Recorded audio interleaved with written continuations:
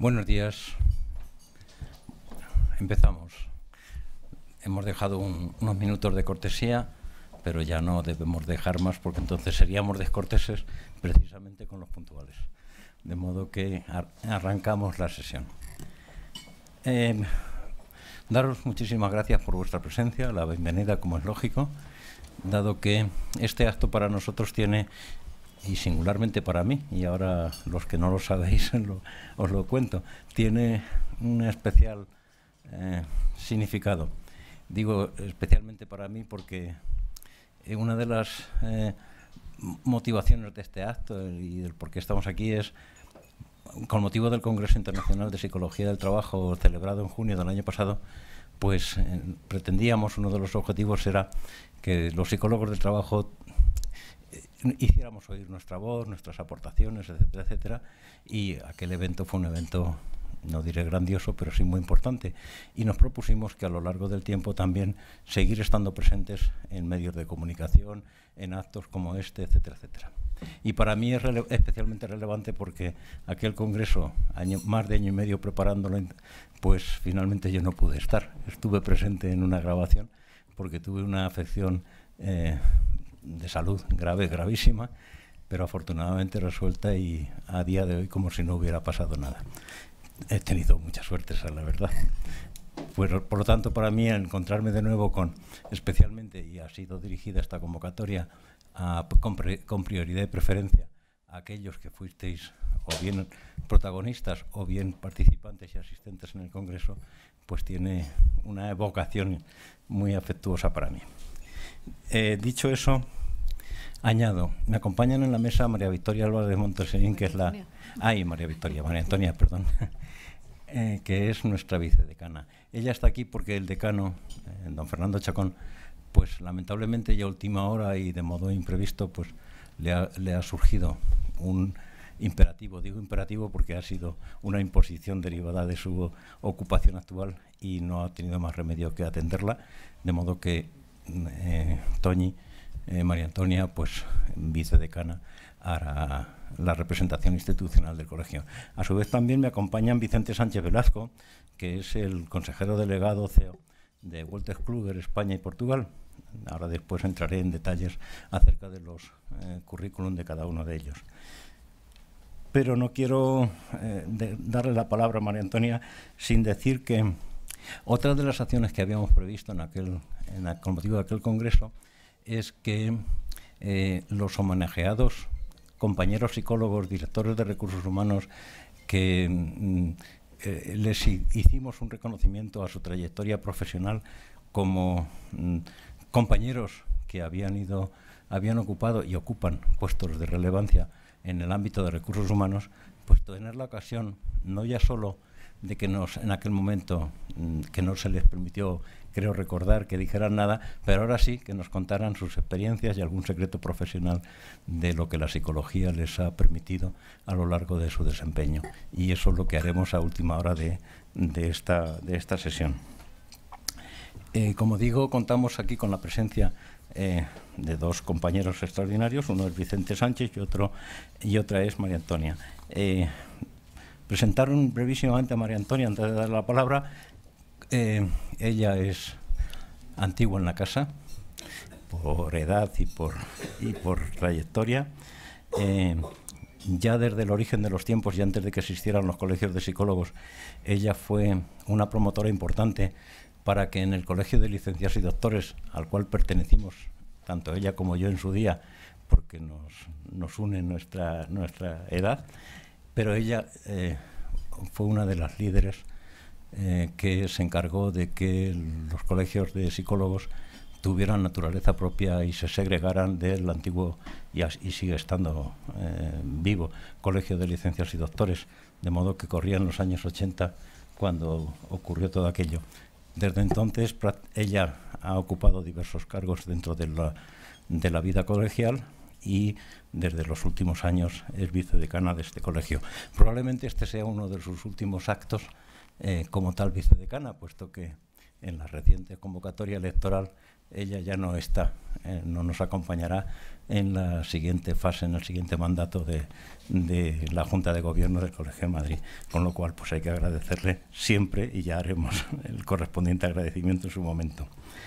Ella, a su vez, mm, ha sido, está siendo, sigue siendo profesora en el máster de formación de profesores de la Universidad Rey Juan Carlos, ha atendido diversos, su área de especialización ha sido clínica y pedagógica y ha atendido y colaborado con diversas iniciativas municipales en cuanto a la atención de la infancia y de la adolescencia en diversos municipios. Pero con esto yo creo que es suficiente para que tú nos hagas un, una bienvenida y, y, una presentación institucional de esta casa. Gracias. Adelante, Manuel Antonio. Eh, buenos días a todos. En primer lugar, agradecer la presencia de todos ustedes o todos vosotros aquí en este desayuno. Es para nosotros, para la Junta de Gobierno de este colegio, una de las tareas eh, fundamentales el poder reunir a las personas que en diferentes ámbitos trabajan en conjunto y, en, y apoyándose, coordinándose para avanzar en, en, lo que es la atención a las necesidades de nuestra población en los distintos ámbitos.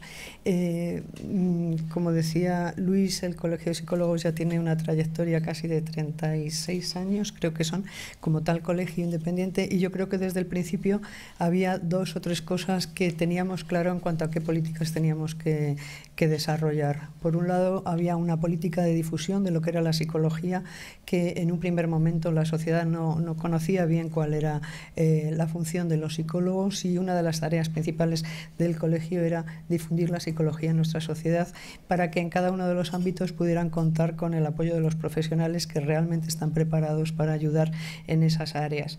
Por otro lado, eh, otra de los eh, objetivos o de las políticas principales era de cara a los propios colegiados, que en definitiva somos los propietarios de este colegio, eh, hacer políticas de formación, de actualización y de participación. Yo creo que eso es una de las cosas que a través de las secciones y a través, y a través de las comisiones del colegio se ha conseguido y muy bien, eh, específicamente en este área que vosotros estáis ahora trabajando, creo que desde luego la comisión y la, sección han ido trabajando eh, de una manera muy continuada y profundizando en todo aquello que podemos eh, dar desde un colegio profesional tanto a nuestros colegiados como, como a otros eh, estamentos de la sociedad.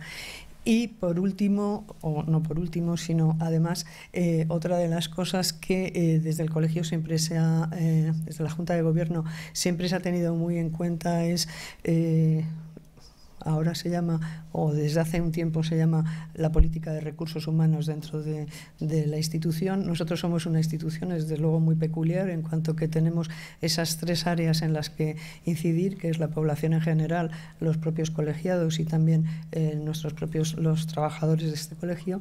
Y en ese tema de recursos humanos yo creo que desde los últimos años, del año 2006, eh, se está eh, incorporando todo aquello que eh, se está estableciendo socialmente como avances, tanto que puede ser eh, considerado dentro del plan de, de conciliación de, del trabajo de, los, de las personas, tanto con el trabajo laboral como con su vida privada ese sentido vamos avanzando también gracias eh, bueno, pues a todas las aportaciones que desde distintos estamentos están haciendo y tenemos especial cuidado desde luego en que en nuestra institución el trato de nuestros eh, mm, las personas que trabajan aquí entre ellos y también el trato que eh, se da a las personas eh, colegiados o cualquier eh, ciudadano que viene y que, y que, solicita cualquier información pues sea de la mejor calidad.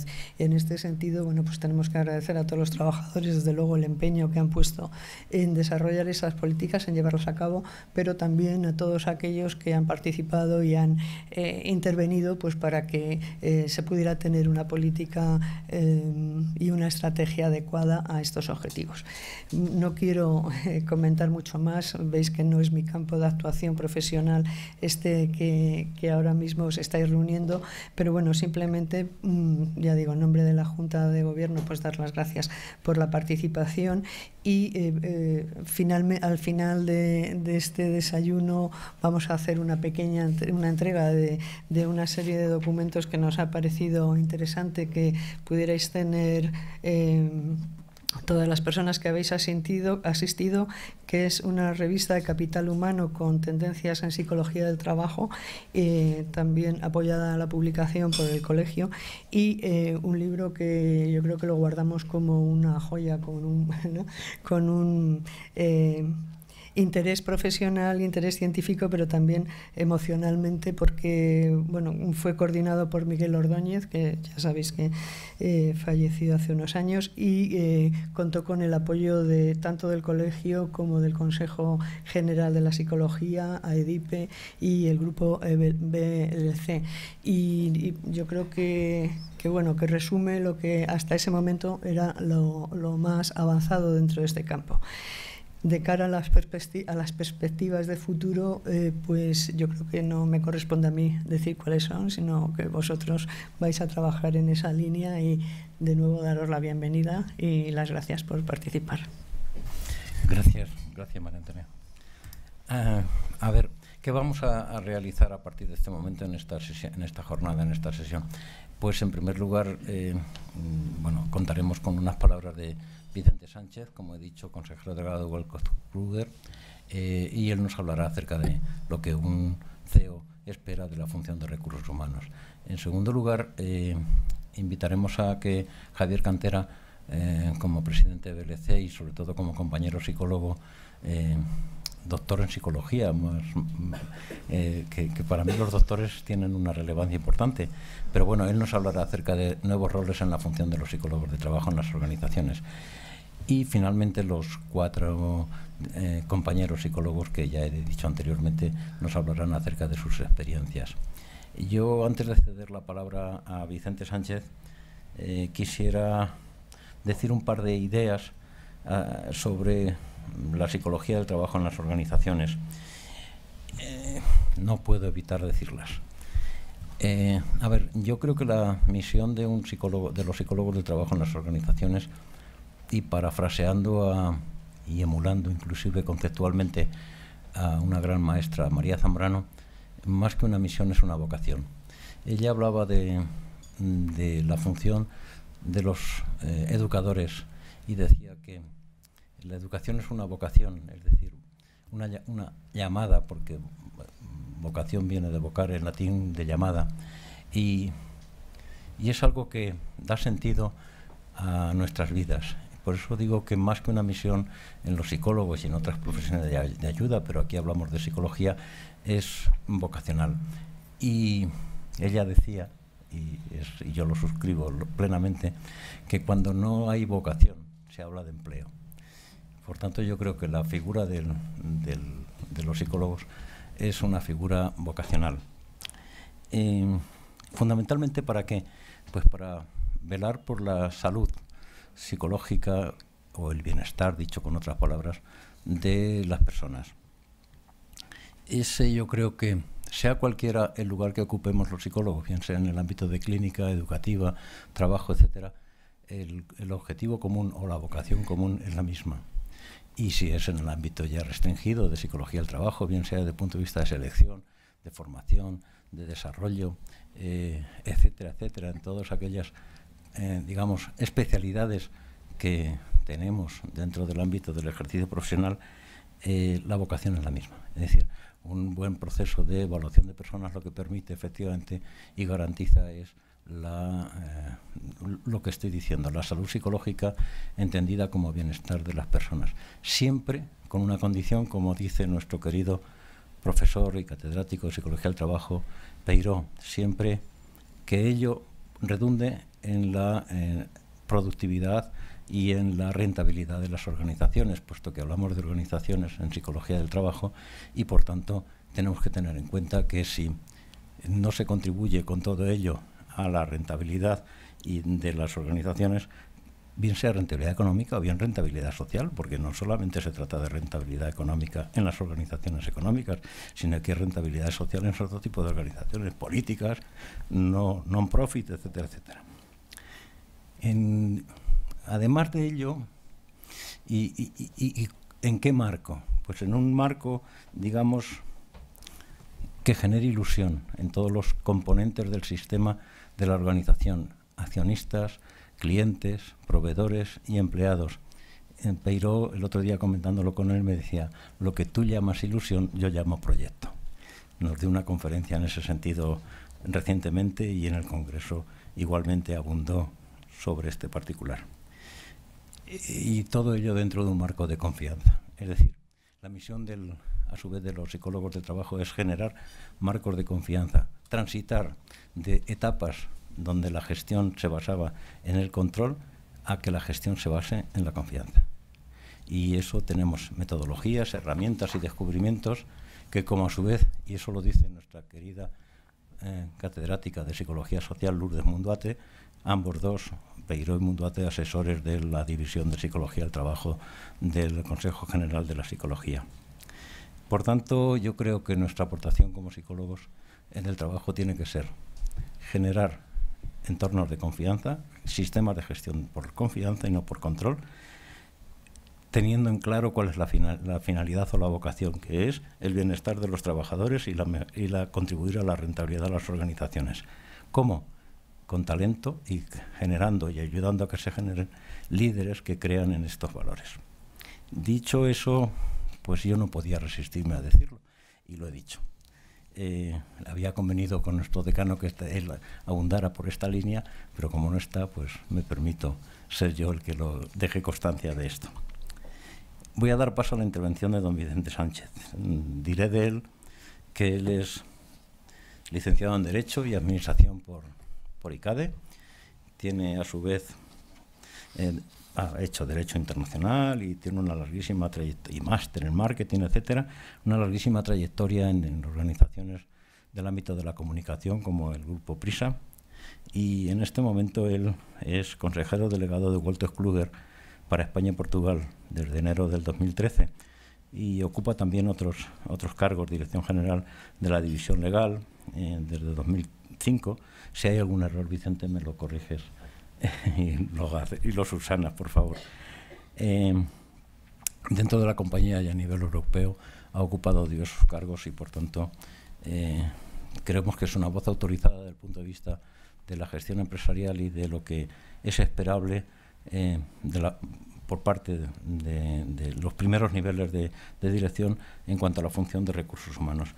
Eh, The Workers True decir que es una de las compañías mm, líderes en el mercado de, soluciones de gestión y comunicación e información en diversas divisiones, eh, bien sean desde el punto de vista de, de, software o bien sea desde el punto de vista legal, como la editores de la ley y vos, bien sea desde el punto de vista de soluciones profesionales, en Goltes Kruger, a través de eh, las revistas como Capital Humano, etcétera. Por cierto, un inciso personal.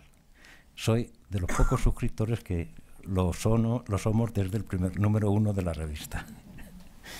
y además mantengo y espero que hasta hasta hasta que ya no pueda más. Eh, pero vamos, soy de los primeros. Cuando todavía era especial directivos, una, una, una que se editaba en papel, no cuché, sino papel normalito. ¿eh?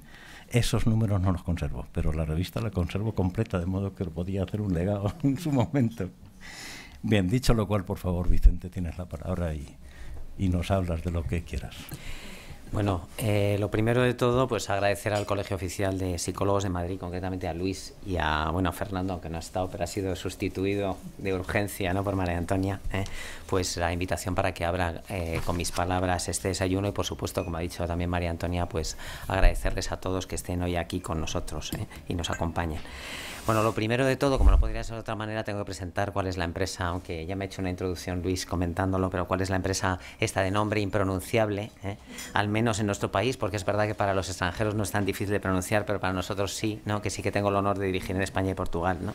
Bueno, lo primero mencionar que Walter Kluber, para aquellos que, que, no nos conozcan, es una compañía líder en la prestación de servicios para profesionales, pero servicios de, de tipo muy variado. Son servicios de formación, servicios de conocimiento, información, soluciones tecnológicas para profesionales en una gama de ámbitos enorme, no solo en recursos humanos, sino también en la parte jurídica, asesoría, contable, mercantil, recursos humanos, educación, sanidad y sector público, por citar aquellos más destacados. Realmente somos una compañía multinacional muy, muy poderosa que nos ha permitido pues, aportar experiencia y tecnología en un campo que yo creo que es esencial.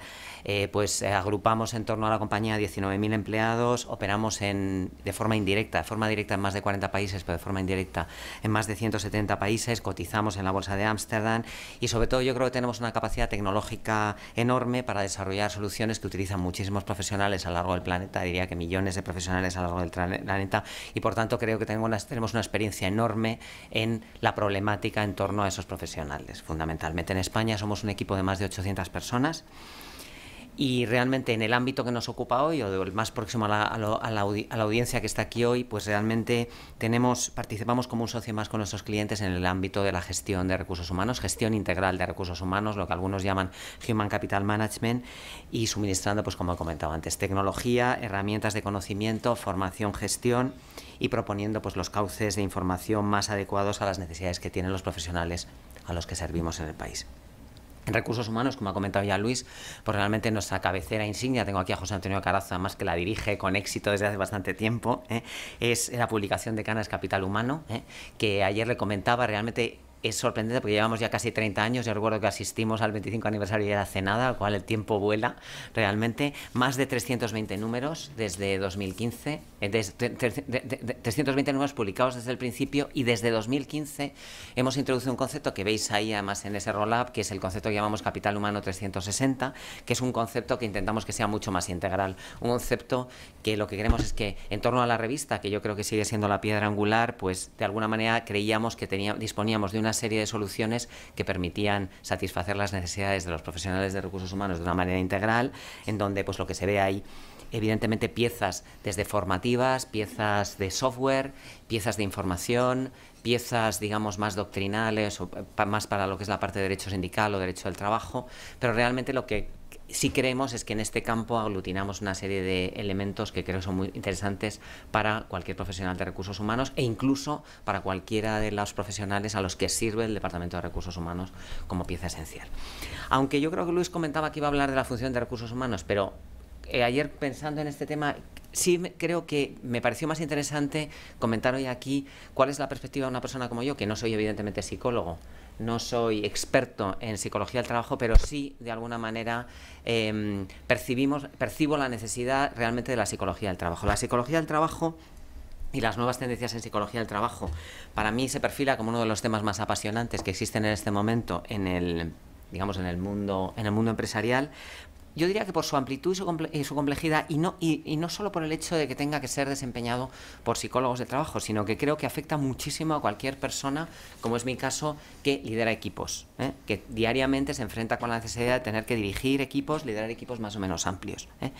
Creo que la irrupción de la figura del psicólogo industrial o del psicólogo que se llama psicólogo organizacional, ¿eh? Pero que ciertamente no siempre está integrado dentro de las estructuras de recursos humanos. Es verdad que tenemos que asociar que este nuevo perfil o este perfil que ya existe en muchos casos en las organizaciones tiene que estar necesariamente integrado dentro de las estructuras o de los departamentos de recursos humanos. No es así. Yo conozco compañías donde esta figura reporta directamente al director general o al consejero delegado por la importancia que tienen los procesos de transformación y de cambio. Entonces, el, es verdad que los departamentos de recursos humanos ejercen esta función, pero en función de cómo la empresa yo creo esté estructurada y organizada, cabe la posibilidad de que esta figura eh, pues esté fuera de estos recursos humanos, pero en cualquier caso, si es una piedra angular, que para mí es esencial en cuanto que soporta procesos de transformación y tiene un impacto enorme en los equipos. ¿eh? Constituye, yo creo que un hito su introducción en muchas organizaciones que ha permitido, si es verdad, que agilizar las dinámicas de cambio, porque en este momento estamos en un proceso, ahora hablaré un poco de los cambios, flexibilizar las interacciones entre los equipos, que es algo muy importante, es decir, relajar la tensión y hacer que los equipos trabajen de una manera más fluida, liberar esa tensión y hacer, en definitiva, para mí compatibles organizaciones que son cada vez más sanas, saludables y conciliadoras, realmente con negocios cada vez más rentables y productivos, porque al final no son incompatibles. Realmente las organizaciones sanas son las que normalmente generan negocios más, más, más rentables y productivos. Pero yo diría que la función de la psicología del trabajo no se reduce al papel que muchas organizaciones ejerce el psicólogo organizacional. En este sentido, yo soy un firme convencido y a través de los años yo creo que tengo la sagacidad suficiente de entender que la materia que conforma fundamentalmente y determina el resultado de cualquier equipo y de cualquier organización al final es la emoción. ¿eh? Y que prácticamente cualquier situación profesional pues puede y debe resolverse con la adecuada gestión emocional, no solo por parte del psicólogo, evidentemente que ayuda mucho a hacerlo, pero sino también por, por, parte de cualquiera, cualquier persona que ejerza una función de liderazgo. En este sentido siempre destaco que me parece muy sorprendente que las personas como yo, que nos hemos formado pues normalmente en, en, en, en administración de empresas, sin embargo, las materias curriculares de la formación de las personas que dirigen compañías realmente si nos centramos pues tienen muy pocos elementos psicológicos es decir no se trata para nada elementos de psicología motivacional o elementos de psicología social que sería esencial conocer y manejar y ese tipo de técnicas manejarlas para cualquier persona que realmente aspire a liderar una compañía y en este sentido invitar también a los poderes públicos que, a que introduzcan este tipo de materias ¿eh? y fundan un poco más yo creo el expertise que tiene la psicología con las con las con, las, con la enseñanza digamos, la administración de negocios, pues como se ha entendido tradicionalmente. ¿no? Yo creo que esto es una parte que es esencial. Y yo lo diría también porque no en vano, yo creo que las personas que dirigimos pasamos más momentos que yo llamo de psicodiván, realmente que analizando ratios, balances o cuentas de resultados. Realmente la labor del que dirige normalmente es estar haciendo psicodiván en muchas ocasiones a el equipo que te rodea. ¿no? Y yo creo que es una labor imprescindible, esencial y que seguramente pues, supone más del 70 o el 80% de nuestro tiempo. ¿eh? Luego hay una labor técnica, pero realmente hay una labor de gestión de personas y nos enseña. O sea, lo diría. Con lo cual, de nuevo resalta también la importancia que tiene contar con expertos dentro del ámbito empresarial en este campo. ¿eh? Em, en mi rol realmente de consejero delegado no aspiro a ser, como he comentado antes, un, un experto en psicología organizacional. Bueno, estoy seguro que tanto Javier Cantera, que va a hablar luego, como otros los ponentes que van a comentar aquí realmente aspectos de las nuevas tendencias de la psicología del trabajo van a saber más que yo. Pero sin embargo, es verdad que desde mi óptica de un directivo de una compañía multinacional que presta servicios en España a más de 300.000 profesionales, sí me gustaría señalar algunos de los aspectos que creo que determinan las nuevas tendencias de las que hoy se van a hablar en la psicología del trabajo. Creo que en primer lugar estamos asistiendo a un cambio impresionante con una celeridad inimaginable hace años. ¿eh?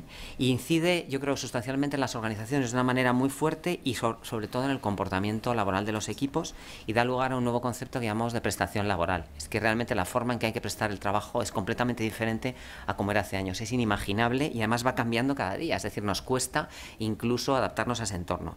Es un entorno incierto, complejo, turbulento. ¿eh? Y que algunos han calificado yo de volátil, efímero y virtual, que es realmente con lo que nos encontramos. Y realmente es verdad que cada día hay un cambio nuevo y tenemos que estar adaptándonos a esos cambios. Pero yo diría que los factores, por tanto, en este entorno que determinan esa complejidad, yo creo que, y que va a determinar un poco la función del psicólogo del trabajo, para mí son los cinco siguientes. El primero, la crisis económica, que yo creo que ha detonado entornos complejos de ansiedad social. Esto yo creo que lo hemos experimentado a lo largo de los años, los que hemos dirigido compañías. Yo creo que el propio concepto de crisis y el impacto sobre la compañía, pues evidentemente ha sido un revulsivo enorme sobre los equipos. El segundo, la globalización del negocio. Esto es especialmente acusado en empresas como multinacionales, como es el caso de Walters Kluwer, que determina pues, plataformas globales, procesos globales. Es un nuevo paradigma de relaciones culturales. Tienes que abrirte muchísimo a otros equipos, trabajar con gente con que nunca has trabajado, en idiomas en los que en muchas ocasiones no eres tampoco experto y creo que nuestro país especialmente pues este tema no lo ha abordado hasta recientemente y yo creo que parte del capital humano que tenemos no está preparado. Es una de las grandes fuentes de estrés porque realmente el trabajar en entornos globales pues este país no, no, no lo ha trabajado intensamente. Luego diría la digitalización, que es un, evidentemente no, no todos somos conscientes que ha sido un revulsivo integral de métodos, de productos, de procesos de canales y que ha obligado a reconvertir perfiles en un contexto inédito de aceleración que no hemos visto jamás. Y dos elementos que quiero destacar porque no son normalmente muy destacados. El primero es la estructura de organización matricial. Grandes compañías internacionales están organizando no de una manera jerárquica, sino de una manera matricial, es decir, todos entendemos la matriz. La matriz es que realmente yo reporto sólidamente a alguien y sin embargo reporto funcionalmente a otra persona. ¿no? Entonces es un aspecto que yo creo que es un detonante importante de ansiedad. ¿eh? Creo que mm, cuando la gestión no está optimizada, y en muchas ocasiones en las compañías no lo está, es decir, decimos tenemos una organización matricial que incluso en, ocasiones llegamos a lo que yo llamo la hipermatriz o la matriz dentro de la matriz, es decir, dentro de esas matrices se montan otras matrices que a su vez reportan a la matriz. Entonces no tengo que con este galimatías que estoy diciendo, pues fácilmente pueden entender que realmente aboca al capital humano afectado pues a un estado de semilocura permanente. ¿eh? Por calificarlo de alguna manera. Creo que no somos conscientes de la importancia que tiene el no gestionar adecuadamente esas estructuras matriciales en las organizaciones. Las nacionales realmente es verdad que no son tan matriciales, pero las organizaciones multinacionales todas son matriciales en este momento. Y luego algo que no quiero que me malinterpreten, el fomento de la diversidad y especialmente la de género. Yo, todos los que me conocen, y tengo a Cristina, que es mi directora de comunicación al fondo, y sabe que soy una Dalí de, por justicia, creo, de la igualdad de género y de la diversidad, pero creo que esta tendencia positiva hacia la igualdad creo que ha sido ha contribuido al éxito increíble de los resultados en las compañías que han abanderado este cambio pero sin embargo tengo también decir que no resulta menos innegable que su introducción ha sido un factor de estrés impresionante no solo para las mujeres, que son las principales afectadas por ese proceso, sino también para los hombres que han tenido que asumir esta transformación. Quiero decir, es difícil gestionar emocionalmente. Yo siempre digo que grandes equipos de mujeres y nosotros tenemos, somos una compañía realmente donde cubrimos absolutamente todas las cuotas, donde tenemos más mujeres que hombres, incluso en puestos directivos, pero es verdad que es difícil para muchos hombres asumir este cambio. O sea, realmente gestionar la emoción femenina es difícil para, para, muchos hombres y a su vez entiendo que también para muchas mujeres el gestionar un mundo laboral complejo pues también es difícil en un contexto social que tampoco ha cambiado, no se ha transformado por completo, seamos claros, y que sigue exigiendo pues de la mujer mucho más de lo que debería exigir. ¿no? Entonces esto es lo que deberíamos de, pues bueno, lo que estamos aquí también yo creo que recalcarlo y resaltarlo. ¿no? Yo creo que esta diversidad de factores han exigido cambios de calado en las organizaciones y la migración que comentaba antes Luis desde modelos basados en el control, la seguridad, la rigidez, la disciplina, la estabilidad, que es lo que todos hemos vivido, hacia fórmulas que se apoyan ahora más en la agilidad, la responsabilidad, la innovación, la flexibilidad, la optimización de potencialidades y la, y la prestación por proyectos, porque realmente a mí me gusta mucho sacar a la gente de la caja y aprovechar realmente sus, sus capacidades personales más que la función que desempeñan, creo que es muy bueno, rompe la rutina y además hace que la gente realmente explote su verdadera funcionalidad, pero realmente es una fuente de estrés más ¿eh? también. Y desde la perspectiva de la psicología del trabajo, pues hay nuevos temas de investigación que yo creo que marcan tendencias, que nosotros sí seguimos, que es el trabajo con objetos y materiales, como es el conocimiento, las nuevas formas de medición del resultado del trabajo a través de las tecnologías de la información, el trabajo multiubicuo, ya que habría que hablar mucho sobre lo que es el teletrabajo, las fórmulas flexibles de trabajo, distribuido en el tiempo más allá de la jornada laboral, que también es uno de los temas que son más candentes, la optimización de las relaciones personales en entornos matriciales, como he comentado y lo vuelvo a comentar, y los cambios de roles y modelos de, liderazgo. Realmente requerimos líderes que sean completamente diferentes a los que a, lo que éramos antes realmente del éxito, del éxito de este tipo de, temas depende el resultado de la compañía y yo creo que resulta fundamental para el éxito el, papel que juegan los psicólogos organizacionales, de los que yo creo que tendremos oportunidad de ir a hablar a lo largo de las intervenciones siguientes. No quiero robar mucho más tiempo. Yo creo que estamos todos deseando escuchar ya a los que pueden aportar mucho más que los que estamos en esta mesa, en este apasionante tema. reitero mi agradecimiento a la organización y, por supuesto, a todos ustedes por su asistencia y deseo realmente que disfruten mucho de lo que seguramente aprenderemos a lo largo de esta mañana. Gracias.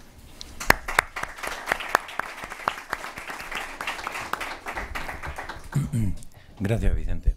Eh, voy a hacer una propuesta, lo vamos a nombrar colegiado de honor. Bueno, muy bien. Muchas gracias. Eh, vamos a habilitar para la, siguiente conferencia el ordenador, etcétera, etcétera. De modo que vosotros si, podéis pasar a la mesa y degustar el, el café. Gracias. Eh, colocáis el ordenador. Sí, Mientras eh, colocan el ordenador correspondiente para la siguiente intervención, que será de Javier Cantera. Eh, Javier Cantera es un viejo conocido de, yo diré que de todos, puesto que es difícil encontrar a alguien que no conozca a Javier. En cualquier caso, me estoy obligado, lógicamente, a decir dos palabras acerca de, él. A ver, Javier es, eh, como he dicho anteriormente, doctor en psicología, pero además de ser doctor en psicología, es, eh, es abogado. Eh, licenciado en Derecho. No, no sé. No, abogado abogado no. derecho. Y bueno, y un sinfín de máster eh, de gestión, administración, dirección de empresa, etcétera, etcétera. Es autor de varios libros. Para mí, a su vez, además de los doctores, los que son capaces de escribir más allá de lo que yo soy capaz de escribir en folio y medio, ya son motivo de admiración y de, y de respeto. Eh, por supuesto, artículos eh, y conferencias en todo tipo de foros y de, y de organizaciones. Socio y director de varias empresas y singularmente del grupo BLC y de su fundación eh, Personas y Empresas que recientemente le potencia y le, y le está dando un impulso importante. Algo que él va a decir, diría si yo no lo digo, es que de lo que más experto es es en Tintín, de modo que es tintinólogo. Sí, sí, y él lo dice y yo, lógicamente, como ya lo he escuchado muchas veces, pues ya lo incorporo en mis notas cuando no tengo que hacer una presentación suya. Bueno, él nos va a hablar de, de los nuevos roles de la, de la psicología y de los psicólogos del trabajo en las organizaciones y muy al hilo de lo que Vicente nos ha ido exponiendo. De modo que escuchémosle sin más dilación. Adelante, Javier. Bueno, bueno nada, pues eh, para mí un placer, un placer estar aquí con todos vosotros. Sabéis mucho más casi vosotros que, que yo en estos temas. Es dar las gracias primero al Colegio de Psicólogos, que obviamente es, es un gran foro y el foro claramente que todos queremos que se desarrolle mucho. Aprovechar también para dar las gracias a Walter Kruger que claramente es una empresa con ese consejo delegado que ya os ha dicho que te vamos a fichar como psicólogo aquí, te vamos a dar aquí la entrada. Y bueno, también con José Antonio. José Antonio es un clásico. José Antonio, además de ser merengue como yo, que somos de Real Madrid los dos y que hablamos mucho, es un gran clásico en el mundo de recursos humanos y una gran persona que claramente ha hecho que Capital Humano sea para nosotros tan atractivo en este momento. ¿no? ¿Y qué deciros? Pues bueno, ante todo en la presentación que habéis hecho, pues yo, yo, tengo cinco características. Soy palentino, que no lo he dicho, pero yo lo digo en todas las presentaciones, del pan pan y del vino vino. Eh, soy psicólogo, me siento muy psicólogo, eh, a pesar de haber estudiado licenciatura de Derecho como segunda carrera, nadie es perfecto. Eh, luego soy doctor añoso, es decir, lo he hecho después de muchos años, como la madre es añosa, yo soy doctor añoso. ¿no?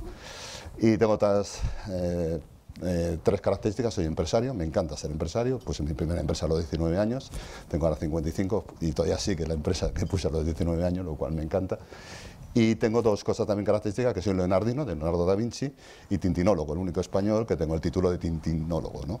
Lo cual cuando queráis hablamos de Tintín, lo que queráis. Bueno, lo primero que quiero decir es una anécdota, una anécdota que me pasó ayer. Ayer estaba yo en una empresa donde estábamos hablando de una reestructuración de personal, gente a la calle, y bueno, pues me, estaba yo trabajando como consultor y el director general me dice, joder, qué sonrisa tienes, Javier, si se nota que eres feliz para lo que estás haciendo aquí, que ya ahora te tienes que pegar con los sindicatos y todo el tema. Dice, ¿qué técnica esta psicológica que tenéis vosotros te hace para que estés tan feliz en una situación tan difícil? Y yo le digo que tengo una técnica muy sencilla, que es que todas las mañanas en mi despacho tengo, hago boseo y yo ya salgo pegado de casa. Es decir, eso parece una técnica muy difícil, pero es simplemente que yo ya no me voy a pegar con el mundo, porque ya me he pegado yo conmigo mismo en el boxeo. Sí, es verdad que a veces en, el punching pongo algunas caras, algunas cosas, pero bueno, eso te sirve para desfogarte. ¿Qué quiero decir con esto? Que tenemos que llevar a la normalidad la intervención de los psicólogos en las empresas.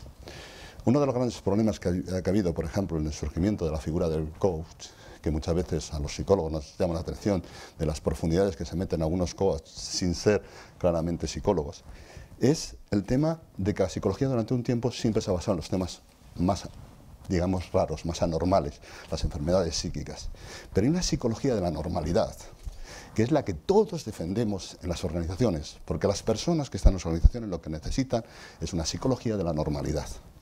Y ahí es donde creo que todos nos sentamos muy identificados. Y obviamente en los puestos que hemos podido tener, director de recursos humanos, de diferentes ámbitos, siempre hay que defender la idea de lo normal, de lo sentido común, la psicología de la normalidad. Y ahí es cuando, ahora veremos a nuestros cuatro compañeros que tenemos aquí, gente experta en este tema, nos pueden contar que muchas veces las soluciones que hemos tenido en el día a día no es nada más que aplicar muchas veces una visión de normalidad, no buscar lo raro, yo lo llamo las conductas típicas, pero es que es verdad, muchas veces buscamos más las conductas atípicas que las típicas, y las típicas hay que trabajar mucho. Pues aprovecho para hacer una publicidad claramente. Mm, por favor, si queréis un coach, un coach que sea psicólogo. Bueno, simplemente por, por capacidad. Pero sí es verdad que no hay que, la idea de, voy a ir al psicólogo. Por eso también nosotros tenemos que ser gente más normal, ¿no? Por eso la anécdota que os contaba, que a mí mi técnica es pegar puñetazos, no es una técnica de esta de mindfulness súper sofisticada, que huele a incienso y que estoy en una bata muy grande que estoy viendo, ¿no? La normalidad es un elemento fundamental para explicar claramente lo que hacemos. Y sobre el tema que voy a tratar, pues fijaros, siempre recordaré a mi maestro, Miguel Ordóñez, al cual, como sabéis algunos, le quería muchísimo, que se iba hace ahora mismo pues dos años, el cual me metió en este tema. Cuando hicimos el libro que al final lo van a regalar, que es un tocho de libros así de grande, yo no sé si ya se nos ha acabado todavía el libro, sigue joder, pues el libro lo regalamos siempre, no, no por desmerecer el libro, pero es un libro tocho sobre todo lo que hicimos de la, de la psicología del trabajo. Hicimos una historia en ese momento, hace ahora cuatro años, fue la obra última que yo creo que Miguel quiso dejarnos. Y obviamente él me dice, tú, ya sabéis que era andaluz, dice, tú Quillo, tú al futuro. Digo, pero, ya, tengo 50 tacos, al futuro, Javier. Y entonces me empezó a meter el tema del rol del futuro, de la figura del psicólogo del trabajo, y fruto de ese libro, pues luego tuvimos el maravilloso congreso, que obviamente sin Luis Picasso, lo decimos, no había salido ese congreso, él lo sabe, lo hemos dicho públicamente, Luis Picasso hizo un gran esfuerzo para hacer ese congreso y eso se lo deberá siempre la profesión. Y bueno, ¿qué voy a contaros? Pues la tendencia en psicología del trabajo, el rol del psicólogo. Pues fijaros, cada vez nos piden más las empresas una cosa diferente, que esto es lo que yo estoy buscando más en el tema del futuro. Nos piden qué conocimiento basado en datos para predecir el comportamiento de las personas en el futuro. Fijaros que hay un cambio de rol, y eso es lo que a mí más me encanta. Es decir, fruto de la digitalización, fruto de muchos conocimientos que tenemos, vamos a pasar de tener un rol más desde un punto de vista evaluador, un rol de reactivo, en el cual lo que nos piden en un momento dado es eh, solucionar una problemática, a poder hacer prevención y hacer predicción de qué cosa va a ocurrir. Y esto es fundamental, porque cuando a mí la gente dice, pero ¿por qué Javier destaca tanto HR Analytics, la aplicación de Big Data en recursos humanos? Porque tenemos la capacidad por primera vez de tener datos suficientes y conocimientos para poder analizar qué va a pasar en un futuro. Y eso es un elemento que va a cambiar un poco el rol del psicólogo del trabajo. Siempre éramos un elemento reactivo, salíamos claramente a solucionar problemas, antes de desarrollar. Cuando yo empecé mi primer trabajo como psicólogo fue en Telefónica. Lo primero, que éramos de los primeros psicólogos que entrábamos en Telefónica, la gente terminaba, te abría la puerta al despacho, eso es un psicólogo, nos decían, ¿qué hacemos aquí? ¿no? Pero todo el mundo decía, yo claramente voy al psicólogo. Iba al psicólogo. El psicólogo era una parte de, de una solución, pero no una parte interna de la empresa para dar predicciones de futuro. Y ese es un elemento que está cambiando claramente.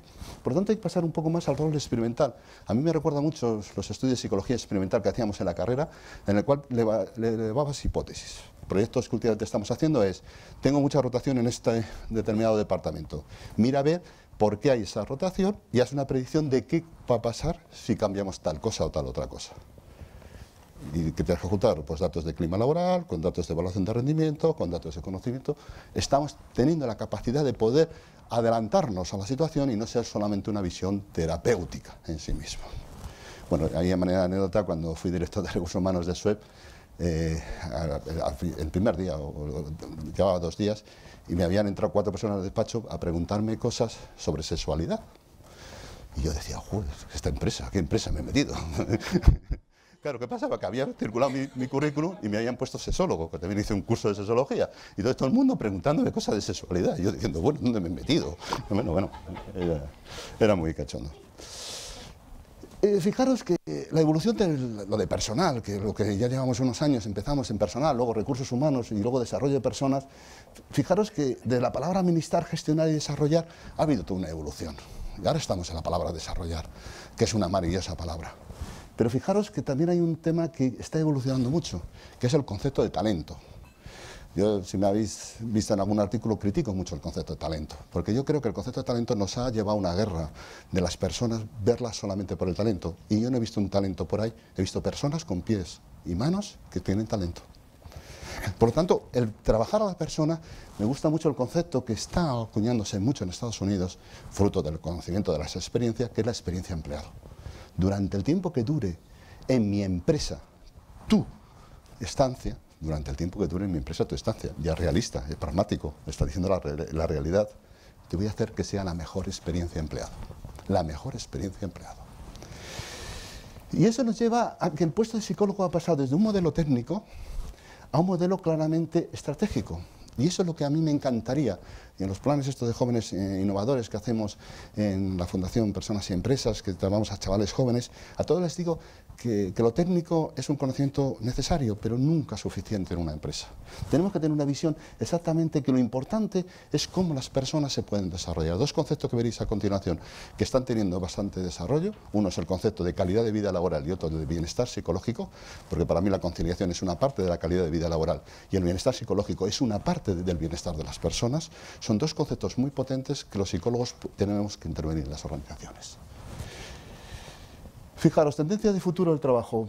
Fijaros, estas son las cinco tendencias que se analizan en, o se analizan en la última cumbre de Davos. En la última cumbre de Davos salieron una serie de tendencias que fueron actitud frente a la experiencia. Cada vez nos ha cambiado. La digitalización lo que ha permitido es que nos ha cambiado la experiencia consumidor. Si no, no sé si estáis en un grupo de madres o padres eh, de WhatsApp. A mí me ha cambiado la experiencia de ser padre. ¿Por qué? Porque yo no sabía tantas cosas. Que tiene piojos mi hija. Y yo rápidamente mirar la, la cabeza de mi hijo. Es decir, esas experiencias me está cambiando mi día a día la digitalización. Me está cambiando mi experiencia persona, mi experiencia ciudadano y mi experiencia empleado. Fijaros, antes hacían estudios de clima laboral anual, eso ya se ha quedado. Si es que ahora tengo sistemas claramente a través de apps que me permiten tener día a día, momento a momento, la situación y el pensamiento de mis plantillas. Es decir, son modelos claramente que está cambiando la experiencia de empleado. También las tecnologías, hay que decirlo, es decir, Big Data, la nube, eh, todo lo que viene siendo la robótica, las plataformas colaborativas. Nueva cultura del trabajo, fijaros lo que dice Davos, del necesitar al querer. Es decir, la gente en las culturas occidentales tiene que querer trabajar en una empresa. Quiere trabajar, poner su talento, su conocimiento, su capacidad, su experiencia empleado en esa empresa.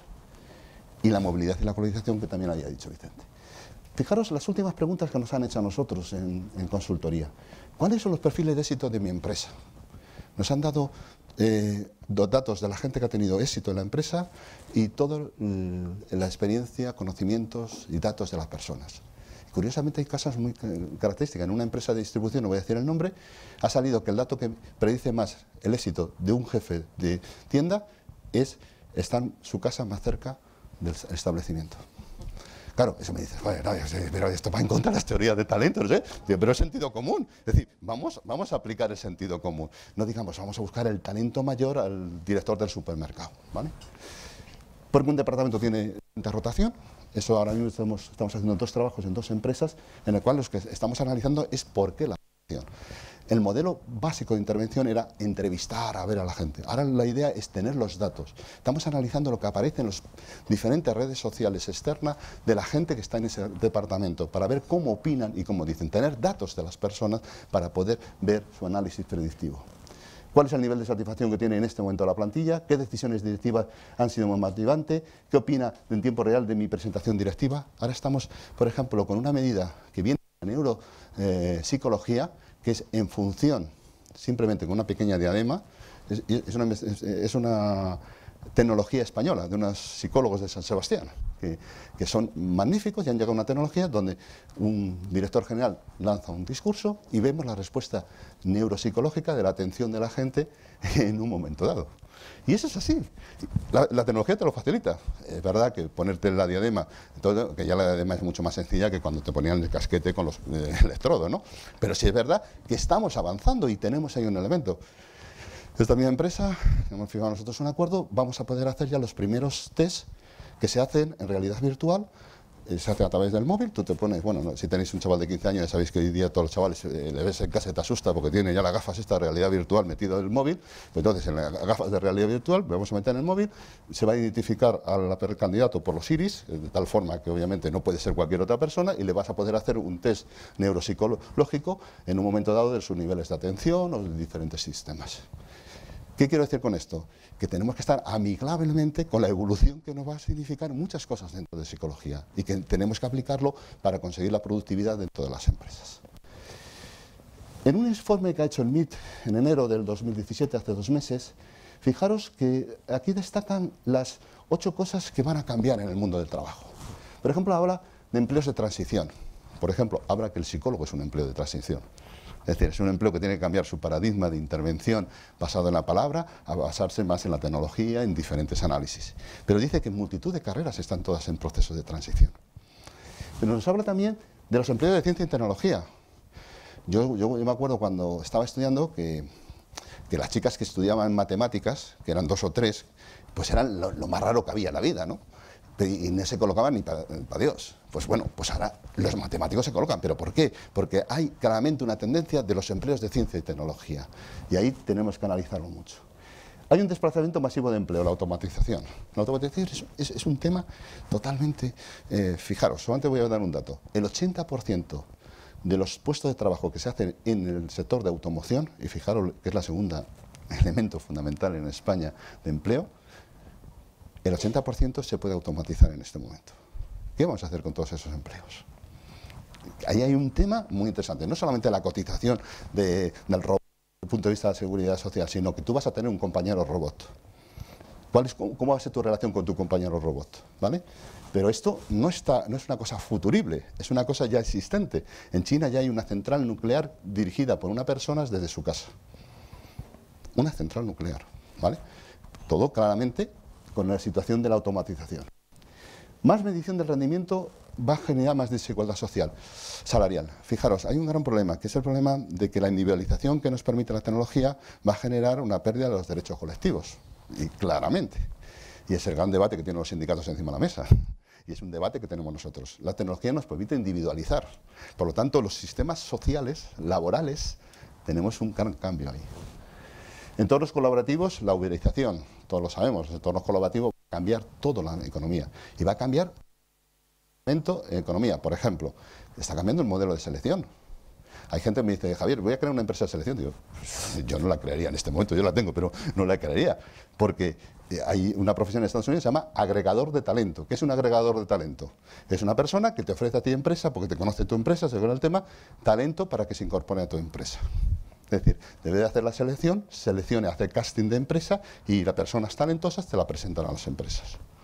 Con lo cual, ¿qué significa? Que hay una uberización también de, nuestro sistema de selección y una uberización de todos los sistemas.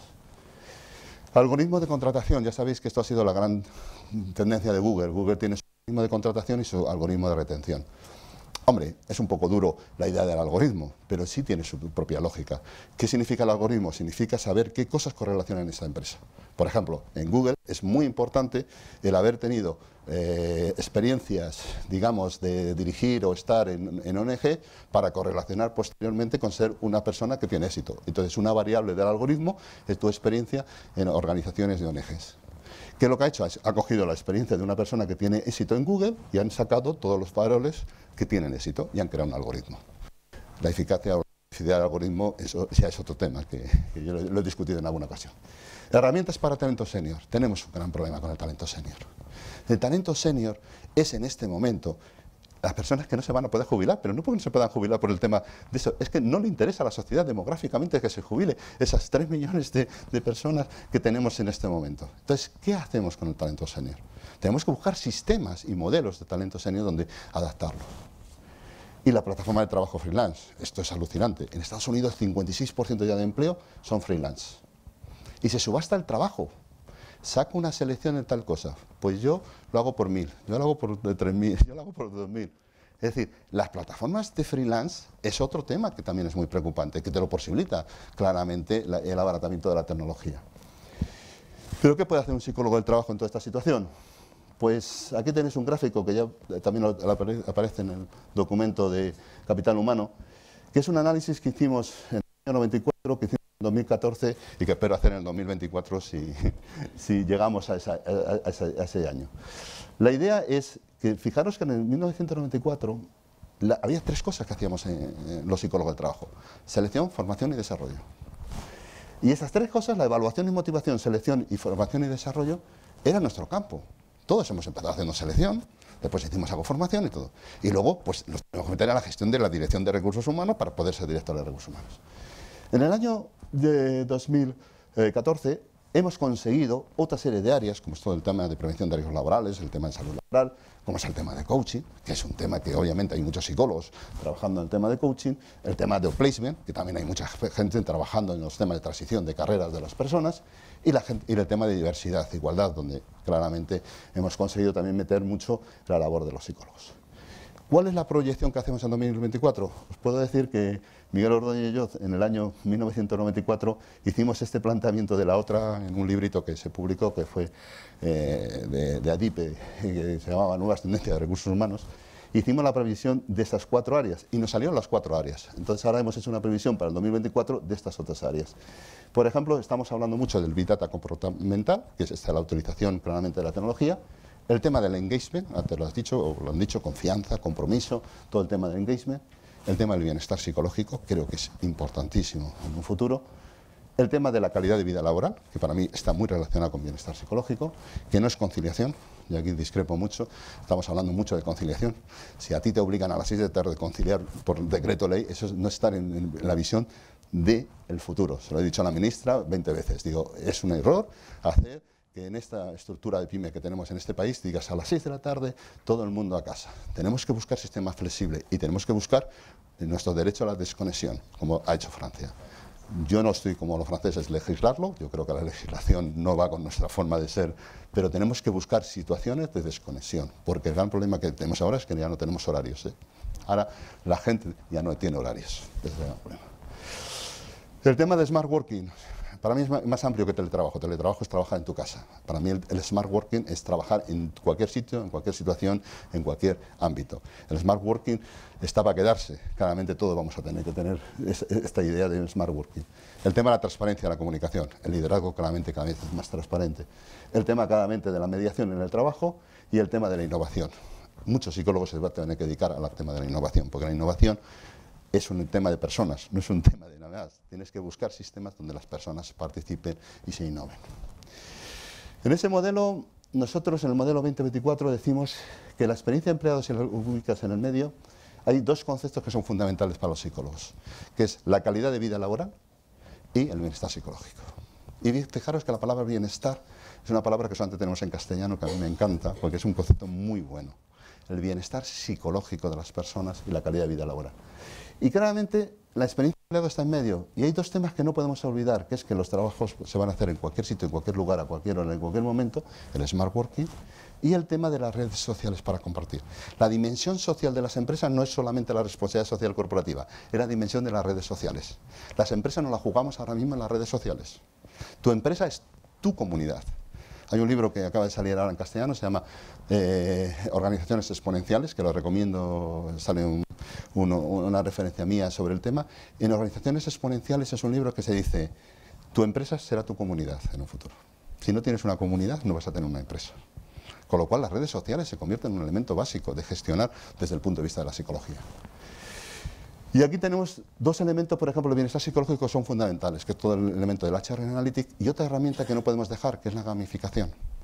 El tema de los juegos serios no es una cosa baladí, está dentro de la capacidad que podemos tener de poder generar situaciones motivantes a las personas. Eh, yo no he visto nada más, tenemos un, aplicativo para el tema de salud y estar, cómo se pica la gente porque yo he hecho tantos kilómetros, y tú has hecho tanto, no sé qué, he conseguido eh, la, medalla del, Dios, la medalla de no sé qué, no sé cuánto. Y claro, tú dices, es que esto no, es que está dentro de nuestro atávico pensamiento la idea de la competitividad. O por ejemplo, que montamos en, Mafre sobre que tú tienes una isla y en equipo tienes una palmera más, una palmera menos en función de, de que un call center lleve más o menos. Pues he visto gente de call center quedándose hasta muy tarde simplemente porque tiene una palmera más. Tenemos la tercera palmera en nuestra isla, eh, que es una competición, claramente una gamificación. Y luego tenemos las neurociencias aplicadas, que para mí es, es claramente un futuro clarísimo, ¿no? El saber, por ejemplo, tu audiencia qué es lo que eh, piensa de lo que tú dices, el tener claramente la medición en un momento dado de multitud de cosas que la neuropsicología nos está aportando. Yo creo que la neuropsicología va a ser el gran elemento que vamos a tener en un futuro para poder llevar a las empresas desde la psicología elementos novedosos.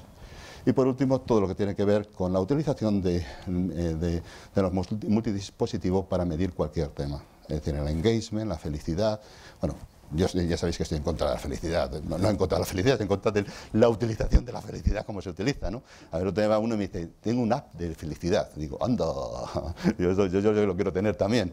Es imposible, ¿me entiendes? La felicidad es un elemento tan personal, es una ubicación que hay tantos eh, asesinos de la felicidad diciendo que son pro felicidad. Tres técnicas que yo claramente desarrollo mucho, que es todo lo que tiene que ver con el tema del mindfulness, Fijaros, hace unos años decíamos, hacíamos los psicólogos cursos para gestionar estrés y no vendíamos ni uno, porque era suponer que las empresas estaban estrés y no lo vendías. Ahora lo hemos llamado mindfulness y todo el mundo viene. ¡Ay, qué bien! Este es un gran, este es un gran curso. Y yo digo, pero es lo mismo. Pero bueno, sí es verdad que eso es en, lo que llaman los creativos en NAMI, ¿no? Saber poner el nombre, ¿no? Ahora, pues es igual que coaching. Coaching casi, ¡ay! Ya no voy al psicólogo, voy a un coach. Claro, ya me quito la responsabilidad, pero también es, ya os he dicho, mi crítica inicial es problema nuestro porque siempre el psicólogo hemos sido gente que miramos siempre la anormalidad, cuando el psicólogo que yo defiendo siempre somos psicólogos y miramos la normalidad. Otro tema que para mí es muy importante es todas las cosas que tienen que ver con la conciliación, entendida la conciliación dentro de la calidad de vida laboral. La conciliación es una, digamos, estructura mental única en cada una de las personas. Y lo que uno concilia, el otro no concilia. Pero sí es verdad que tiene que haber flexibilidad y libertad para que la gente pueda conciliar. Yo no creo en el decreto ley de la conciliación, creo en que es una flexibilidad horaria la que te permite que tú hagas tu eh, alternativa de conciliación. Y bueno, no mucho más os quería contar. Y yo para acabar, pues tres frases que a mí me encantan sobre el futuro, ¿no? Una, no pienso nunca en el futuro porque llega muy pronto, decía nuestro tío Alberto, ¿no? a mí me parece muy bien. La de Unamuno que me encanta, dice, eh, procuremos más ser padres de nuestro porvenir que hijos de nuestros pasados. Hay muchos psicólogos que es hijo de su pasado. A mí hay gente cuando me habla eh, el, psicólogo, el rol del psicólogo con el tema de, que necesitamos las entrevistas, no sé qué, no sé cuánto. Yo digo, bueno, eh, estamos mucho más presos de nuestro pasado que de nuestro futuro. Y un poeta español que a mí me encanta dice, te llaman provenir porque, porque no vienes nunca. Y además que me parece bien, es decir, todo el mundo está pensando en el futuro, en el futuro, y lo que tenemos que hacer es el presente. Esto es futuro, porque estamos pensando en el presente, nuestro futuro. Si gestionamos nuestro presente como psicólogos del trabajo, tenemos un gran futuro. Voy a ceder la palabra a cuatro grandes profesionales que les conozco a los cuatro y que fue un honor que estuvieseis en el Congreso. Para nosotros es un honor, porque habitualmente se suele dar muchos premios a los que escriben libros, a la gente esta que habla mucho, pero no a los que están en el día a día, lo que estoy picando piedra, perdón la expresión si es el tema, pero es que picar piedra en el fondo de, recursos humanos es muy duro. Y teniendo la sensibilidad que tenemos nosotros, que una persona es un fin en sí mismo y nunca un medio, que lo tenemos todos los psicólogos, lo que tenemos que hacer. Y con bien lo hacemos, pero claramente tenemos muchos, muchas situaciones en el día a día. Y bueno, muchas gracias y espero que os haya servido estas ideas. Gracias a los.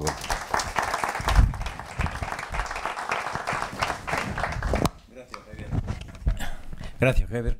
Eh, su conferencia daría lugar a, estar toda la jornada y más eh, eh, detallando, entrando en análisis de muchos de los aspectos indicados, pero no es el objetivo, es decir, nuevas tendencias en la psicología del trabajo nos da el, el input, el, el, mapa pero no vamos a entrar en el territorio. De modo que donde sí vamos a entrar es en vosotros cuatro. Y además lo vamos a hacer por orden alfabético de apellidos para evitar ningún tipo es una fórmula, un algoritmo sencillo, simple y empleado de toda la vida. De modo que le corresponde a nuestro querido Javier Alonso, eh, por orden alfabético de apellidos, ser el primero. Eh, yo les pedí que, para hablar de la, pues eso, de tendencias en la psicología, pero que lo hicieran de un modo vivencial. Primero, de qué les sirvió su formación académica como puedes hacerlo en el estrado ¿eh? sí sí sí aquí sí sí. Como quieras pues te pones aquí al lado. Perfecto. He hecho algo mal pero ya no ya no ocurre nada. Gracias Miguel. Vale ya está. Eh, yo les pedí que, que hablaran de qué les había servido su formación académica en psicología a lo en, en su desempeño profesional el de se libres de elegir eh, pues la, historia o el relato que a cada cual le conviniera. Y en segundo lugar también que reflexionaran un poquito o que nos anunciaran de qué creen ellos que la psicología del trabajo puede servirles en su desempeño. De modo que a razón del tiempo que consideréis, breve, vamos un poco desfasados, pero no voy a limitaros. Eh, yo les pedí que en 10 minutos más o menos hicieran su exposición, pero tampoco pasaría nada si fueran 5 o si fueran 15. Javier, toda su vida ha estado en el ámbito de recursos humanos, eh, en compañías eh, diversas, en compañías de selección, en compañías de sector hotelero y en compañías de, mm, como Loewe, gran compañía de distribución y de, y de venta. Eh, él nos, nos va a hablar de esa experiencia que él ha tenido. Gracias. Adelante, Javier. Muy bien. Eh, bueno, primero ante todo, gracias al Colegio de Psicólogos. A ver, ¿sí? Sí. sí. Gracias al Colegio de Psicólogos por invitarme aquí también. Para mí eh, es un honor, primero porque estoy entre compañeros y segundo porque para mí estar en esta sala que se llama Rafael Burgaleta, para mí es algo especial porque le conocí, fue mi profesor, fue un mentor mío y, bueno, pues tiene un puntito para mí más y un puntito de respeto hacia él, ¿no? cosa que para mí es, es muy bonito estar aquí. Eh, dicho esto, lo difícil es hablar después de Javier. Porque cuando uno habla después de Javier Cantera, te das cuenta de que lo poco que has podido poner interesante, ya lo ha dicho él, pero también te das cuenta de todo lo mucho interesante que dice que a ti se te ha olvidado. Por lo tanto, es, es, empezar empatando como mucho. Dicho esto... Eh, pero como diría Roger, pero te interrumpo, que lo más universal del ser humano es que todos somos diferentes. De modo que seguro que tú aportas tu... Vale, pues, pues vamos a intentar ser diferentes, ¿no? aunque nos, ya, nos vemos igual. Efectivamente, cuando, cuando me pediste compartir la experiencia que yo había tenido, que me había aportado la psicología, eh, bueno, pues hice una reflexión de, me, fui para atrás en el tiempo y dije, bueno, cuando yo estudiaba y en mis primeros pasos y hasta ahora, ¿cómo me ha perfilado eh, el haber estudiado psicología y el, ejercer la profesión de psicólogo? Entonces, lo, dividí en dos partes, ¿no? La primera es decir, bueno, ¿qué conocimientos me aportó a mí la psicología en su momento o, durante los años en los que yo estaba estudiando después, ¿no? Y di, y di con la clave de cuatro o cinco variables que a mí me han ayudado mucho durante mi trayectoria profesional.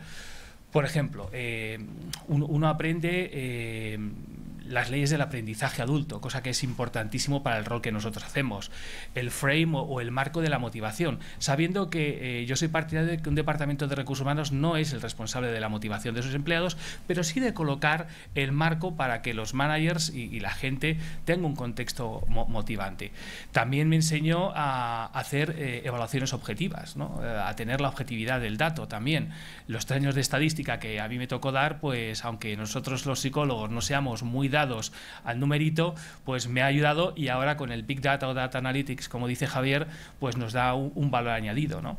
Eh, y, y, otra cosa que también me ayudó mucho es el conocer las dinámicas. Las dinámicas, siempre se habla del trabajo en equipo, siempre se habla de, lo importante que es esto en las organizaciones. Bueno, pues cómo se construye el equipo, eh, cómo es la dinámica social de todo esto, porque al final las organizaciones son entramados o ecosistemas sociales, ¿no?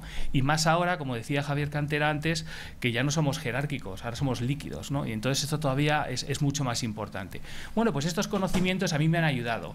¿Y, y qué me ha permitido? ¿En qué me han hecho poder dar un, mayor valor añadido tanto a la P de persona como, como a la organización? Bueno, pues me ha permitido eh, primero, tener distancia emocional, entender más las cosas desde una, distancia emocional, entender, por ejemplo, lo importante eh, del contrato psicológico, eh, que, uno entra, firma una cosa, pero, pero la expectativa que uno tiene y, cómo esa expectativa se va truncando o se va reforzando, te hace que la persona esté o no más motivada y más implicada con la compañía. También me ha, permitido acompañar mejor los, procesos de cambio, eh, porque lógicamente uno aprende esa curva del cambio, de cuando, bueno, el miedo, todo ese, todo ese proceso de cambio y te, te permite conocerla y ayudar más a la persona que ha de evolucionar y a la organización también, ¿no? Eh, en, un cambio, en cualquier cambio, pero fundamentalmente a mí hay un cambio que me llama mucho la atención y que lo observo mucho y que nosotros lo solemos acompañar desde la función de recursos humanos, que es cuando un no manager pasa a ser manager ese, ese, ese cambio, ese generar nuevas, nuevos, nuevos, nuevas actitudes, eh, nuevos comportamientos, bueno, pues me ha permitido poder construir eso mejor al entender las dificultades que tiene una persona al enfrentarse a una situación de estas, una situación de evolución. Me ha permitido también eh, poder evaluar y poder contratar procesos de coaching, de desarrollo personal, todo esto también me ha, me, amueblado mejor, vamos a decir así. ¿no? Y, lo que es importante, me ha permitido entender mejor y estar más preparado para entender el ecosistema de una organización que es un contexto de relaciones. ¿no?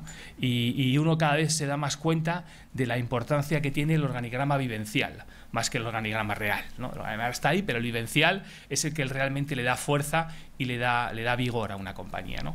Todo esto es lo que a mí, lo que a mí me ha aportado. Em, y, después, eh, a la segunda pregunta que era qué podemos aportar, dónde estamos, pues aquí yo creo que tenemos una gran oportunidad. Primero, volviendo a lo que, a lo que Javier ha dicho antes, eh, el Big Data está ahí. Nosotros, si tenemos amor al dato, si somos capaces de recordar esos tres años de estadística y ponernos las pilas ahí, yo creo que podemos tener, eh, podemos ser embajadores de, esa realidad que nos espera y que es algo que todo el mundo está esperando de la función de recursos humanos. Como bien ha dicho Javier, del dato descriptivo al dato predictivo, de, ser capaces de ser business partners en, ese, en ese caso. O sea, siempre a nosotros, de recursos humanos, una de las cosas que se nos ha mm, puesto en, interrogación es estar lejos del negocio. Bueno, pues aquí sí que tenemos la otra posibilidad adicional de estar cerca del negocio, siendo predictivos y dando, dando valor al negocio con todos los datos que nosotros tenemos. ¿no? Pero, pero por otro lado, yo veo unas tendencias que Javier ha dicho muchas de ellas y que yo creo que las organizaciones en su estrategia de personas están poniendo a la persona en el centro en la parte soft, en, el centro de sus decisiones. ¿no? Y, ejemplos tengo muchos. Eh, por ejemplo, antes hablábamos, hace años se hablaba, o, ahora también, de atraer y retener. ¿no? Parece ser que es, es, es, es no, es proactivo, es reactivo. Parece que estás hablando de dinero, que estás hablando de ser capaz de... No, ahora se habla de comprometer, ¿no? Y aquí yo siempre pongo un símil que me gusta mucho, que es, hay, hay hombres o mujeres, que, o un símil con las parejas, ¿no? Hay gente que es muy capaz de enamorar, pero no es muy capaz de retener ese, e, e, esa pareja. Y hay otras personas que no son capaces nunca de enamorar, pero que cuando enamoran retienen que no veas. ¿no? Y, y las organizaciones les pasa lo mismo. Hay algunas que son muy capaces de atraer, pero muy difícil de retener o de, o de comprometer. Porque una cosa es retener, eh, ¿por qué estás aquí? Eh, porque no tengo otro sitio, porque me pagas bien, porque estoy cómodo, y otro es comprometer. Y ahí esa variable soft, esa variable es donde yo creo que podemos generar tremendo valor. Eh, también al Departamento de Recursos Humanos antes se le decía que lo que tenía que hacer es dar servicio, ¿no? Dar servicio a la organización. Y ahora lo que se le dice, y vuelvo a lo que ha dicho Javier Cantera antes, es que tiene que tener una experiencia de empleado. Otra vez, la P de persona se pone en el centro, la parte soft se pone en el centro. Entonces pasamos de la P de procesos a la P de persona. ¿no? ¿Y quién mejor que nosotros eh, para liderar ese, ese, cambio? Ahora se nos habla eh, también no solamente de, de dar servicios, sino de crear cultura. Bueno, pues es otra variable soft que para nosotros es crítica y que ahí tenemos, que, tenemos una voz, tenemos una, una capacidad, tenemos una sensibilidad adicional que nosotros podemos aportar. Como ha dicho Javier también, antes se hablaba de jerarquías, de, organigramas jerárquicos. Ahora se hablan de organigramas abiertos, matriciales, líquidos, con, relaciones laborales totalmente diferentes y aparte que aquí todavía la legislación laboral no ha resuelto. Porque ahora quieres hacer un freelance, no, pero es que no, es un empleado porque está full time. Bueno, tampoco, tampoco el contexto nos lo está poniendo muy, muy fácil en este sentido. Pero otra vez otra vez el, gestionar estas, estas relaciones matriciales, la parte soft, ahí tenemos nosotros una, una, capacidad para decidir y una capacidad para aportar, que es, que es lo fundamental. Tenía también aquí apuntadas algunas otras cosas, tema súper importante, la diversidad, pero no tanto aunque sí, como habéis dicho antes, como Vicente ha dicho, el tema de diversidad de género. Yo estoy más preocupado y tengo una mayor sensibilidad, si cabe, a la, diversidad generacional, a los valores diferentes que tengo cuando en una organización tengo los baby boomers, la generación X, los millennials, con valores diferentes y con expectativas diferentes. Y yo tengo que comprometer a las personas de generación X que piensan de manera diferente a los millennials.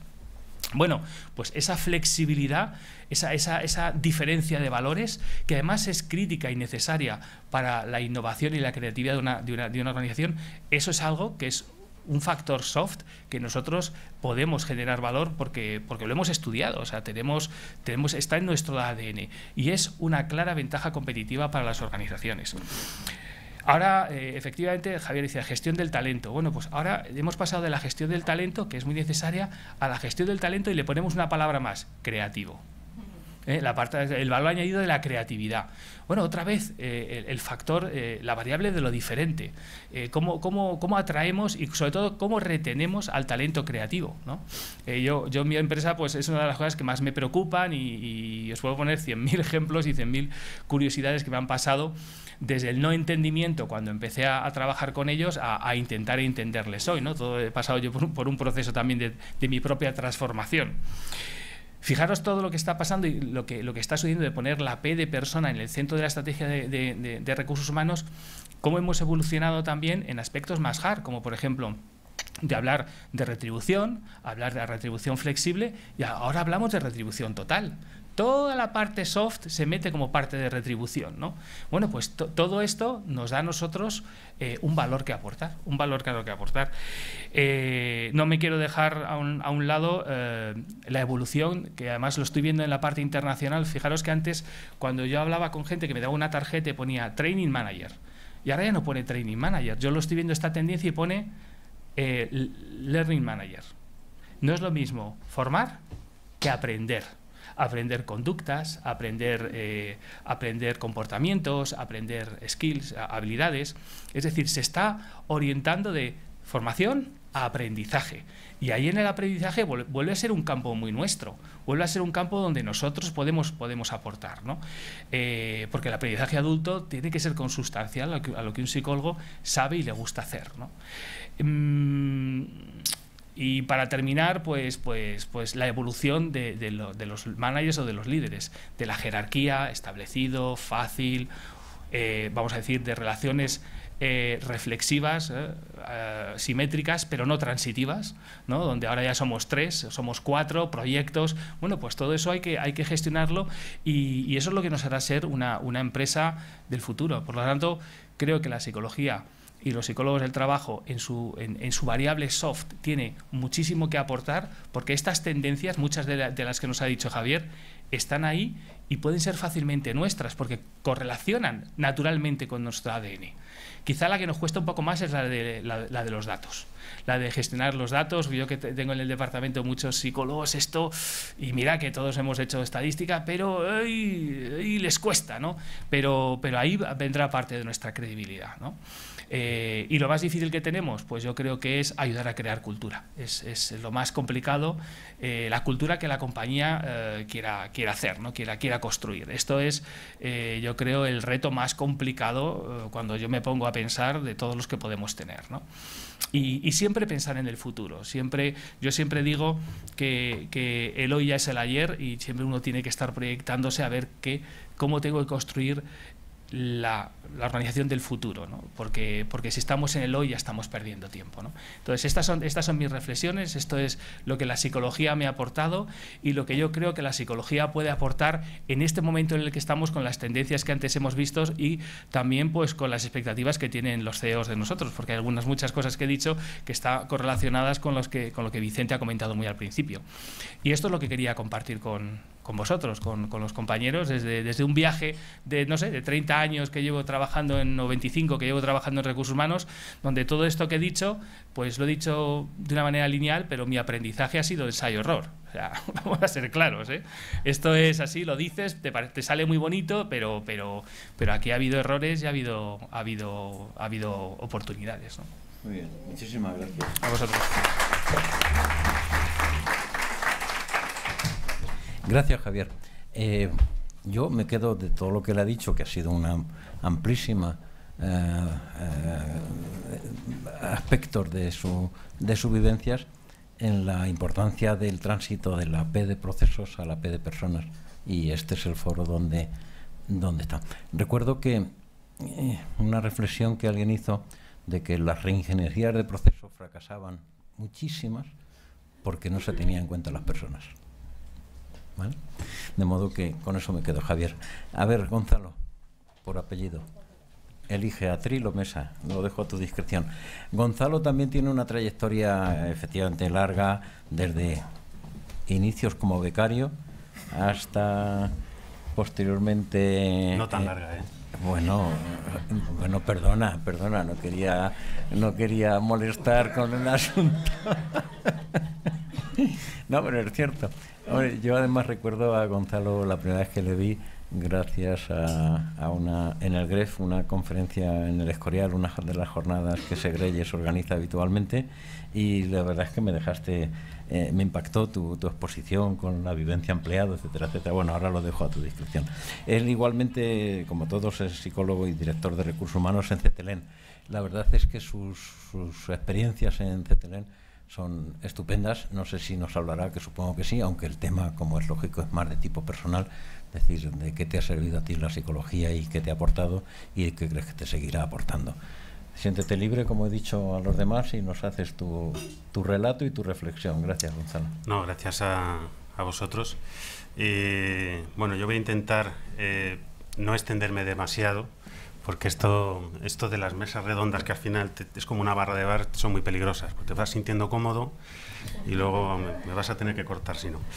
El, la verdad es que casi todo se ha dicho ya. Javier lo ha, lo ha explicado, yo creo que fenomenal. Vicente ha empezado haciendo una intervención muy interesante que prácticamente ha dicho todo lo que yo me había escrito ayer en, mis apuntes, entonces he tenido que reescribir sobre la marcha cosas para contar cosas diferentes, pero, pero como decía Vicente al inicio de, de, su intervención, personalmente creo que la psicología nunca ha estado más de moda dentro de una organización, eh, en el mundo de la empresa especialmente. Cada vez es mucho más normal, mucho más común escuchar a consejeros delegados, directores generales, de términos que cuando yo empecé a trabajar eh, era impensable escuchar a un director, tengo aquí algunas expresiones que incluso que había dicho Vicente, pero que dice mi director general, o que eh, no solo eh, en mi empresa, sino en otras empresas, como por ejemplo hablar de felicidad en el trabajo, de experiencia colaborador, de entornos de trabajo amigables, de diversidad, bueno, este, etcétera, etcétera. Hoy, hoy precisamente en el periódico, eh, yo he llegado un poquito antes, me he tomado un café y me estaba leyendo el periódico y he visto en la prensa que hay un estudio de arquitectura español que ha recibido el premio Pritcher, que es el premio Nobel de la arquitectura. Y el motivo por el cual le han dado a este estudio de arquitectura el premio, según los, los jueces, el jurado ha sido, me lo he escrito porque me ha parecido muy interesante y que venía al, al pelo hoy ha sido porque eh, este estudio de arquitectura, que se llama RCR, ha incluido en sus proyectos una arquitectura emocional. Otra vez la psicología está eh, integrada dentro de algo que inicialmente un arquitecto lo que hace son calcular estructuras, planos, diseños. Bueno, resulta que ahora ya integran toda la parte psicosocial dentro de sus estudios y eso les da el premio más prestigioso que existe en el mundo a nivel de arquitectura. Em, por no enrollarme mucho más, eh, con respecto a la pregunta también, ¿no? De, en, mi experiencia, pues en mi experiencia, por ejemplo, yo cuando entré en CTLM, CTLM es un banco, es un banco, crédito al consumo, realmente somos más una empresa de consumo que un banco, pero eh, el Departamento de Recursos Humanos, como casi todas las empresas de este sector más hard, eh, era, un departamento administrativo, un administrativo, un departamento de soporte que lo que hacía era nóminas. Yo eh, llevo, por eso no tanto, llevo como 17, 18 años trabajando en el mundo de los recursos humanos, siempre en recursos humanos, jamás he hecho una nómina. Y espero, y es mi objetivo en la vida, jubilarme sin hacerla. Es un tema que no me, no me, no me parece que aporte ningún valor adicional estratégicamente hablando a una organización. Entonces, eh, lo primero que yo hice fue eh, meter algo que ha dicho hoy Javier, precisamente, que es eh, basar toda la estrategia del Departamento de Recursos Humanos en datos para predecir comportamientos. Lo primero que hicimos fue que tiramos toda la estrategia del departamento y empezamos a construir basándonos en diseñar un mapa del talento. Este mapa del talento, un, mapa, que esto es muy, no es nada innovador, dos ejes y bueno, pues en función de eso, aportación de valor o contribución a la empresa y competencias. La diferencia aquí es que el dónde se ubica cada una de esas personas dentro de ese mapa. Ese mapa se hace a los 1.240 colaboradores que tenemos en la empresa, al 100% de la plantilla. Se hace un assessment center y se evalúa a todo el mundo en base a ese mapa. La posición de cada persona dentro de ese mapa eh, viene determinada en un 60%, más de un 60%, por la, por la opinión del manager, el manager directo de esa persona. Y el otro 40% por la, por la competencia de los psicólogos del trabajo, de, la, de nuestra profesión. ¿Eso qué es lo que empezó a hacer? Al principio nadie lo entendía, eso genera miedos en contexto de crisis, assessment center, esto lo que quieren es ver a quién echan. Eh, la comunicación fue muy importante, pero lo más importante de todo es que de repente empezamos a aportarle un valor a nuestros managers, porque cuando un manager quería tomar una decisión, al principio éramos nosotros los que íbamos a su despacho y decíamos, espera, espera, antes de tomar una decisión vamos a ver el mapa, que para eso lo hemos dibujado, para eso has participado. Hoy ellos nos llaman a nosotros, oye, quiero cambiar mi organización, ¿podéis venir un momento y revisamos ese mapa del talento para ver si las personas que quiero promocionar o las personas que quiero cambiar realmente encajan eh, y cumplen dentro de la estrategia de recursos humanos que estamos diseñando? Es decir, hemos pasado de ser un departamento staff, un departamento de soporte, que lo que hacía era organizar formaciones, organizar formaciones no es lo mismo, que estoy totalmente de acuerdo con lo que ha dicho Javier, de una cosa es formar y otra cosa es aprender, a de repente ser un departamento de consultoría. Nosotros lo que somos somos los consultores internos dentro de la empresa. Empezamos a realmente ocupar un sitio dentro de un comité de dirección. Ahora cada vez que se tienen que tomar decisiones a nivel organizativo, de manera espontánea eh, sale que tengo que estar yo, como director de recursos humanos, o alguien de mi equipo en esas decisiones. Yo creo que el poder, el poder del dato efectivamente es algo muy importante. Como te he dicho, No, me quiero extender porque soy muy peligroso, pero sí que quiero dar otro dato que es la respuesta a la pregunta del futuro, ¿no? La pregunta del futuro. Yo aquí voy a hacer un ejercicio, como he dicho, trabajo en, un entorno financiero, así que voy a sacar una fórmula matemática. Y esa fórmula matemática la voy a, eh, voy a hacer una reflexión que he estado, la verdad es que me, inspiró a través de un artículo de, de macroeconomía o de economía que leí no hace mucho, hace muy poco, que decía que em, el consumo, trabajo en una empresa de consumo, en los países desarrollados representa el 50% del Producto Interior Bruto del país y en países como Estados Unidos es el 70%. Si hacemos, si recordamos todos, que lo hemos estudiado seguro, eh, lo que es la fórmula de, de, cómo se calcula el Producto Interior Bruto de un país, tiene varias, eh, eh, varios conceptos, que es uno, la C de consumo, a eso se le tiene que sumar la I, que es la inversión. A eso se le tiene que sumar la diferencia entre exportaciones e importaciones que tiene ese país. Y además se le tiene que incrementar el gasto público. Y eso te da la capacidad productiva de un país. Bien, resulta que el AC, que es el consumo, representa entre el 50 y el 70% de toda esa, amalgama de, de productos. Por otro lado, sabemos ya, con estudios súper demostrados, que la experiencia de un consumidor representa entre el 60 y el 80% de la tasa de repetición de ese consumidor sobre ese bien o ese servicio. 60, entre el 60 y el 80.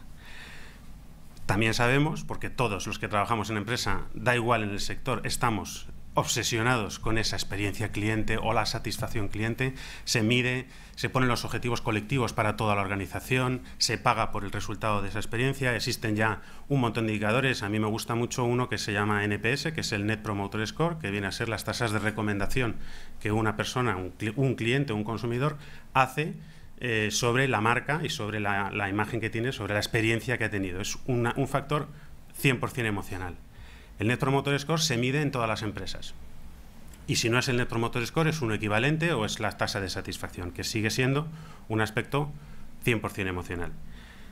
Por lo tanto, si resulta que entre el 50 y el 70% del Producto Interior Bruto de, una, de un país está determinado por el consumo, si resulta que entre el 60 y el 80% de la tasa de repetición de un consumidor sobre ese bien o ese servicio, ese producto, está basado en un aspecto emocional, podemos concluir, esto es una teoría, no, es no está demostrado, pero podemos concluir que la psicología impacta de una manera brutal sobre la productividad de todo un país.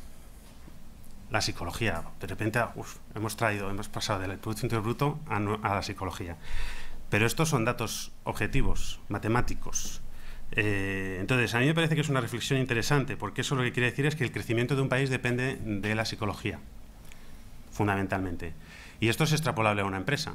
El crecimiento de una empresa depende de una manera brutal sobre cómo esa empresa se oriente hacia la psicología de sus colaboradores.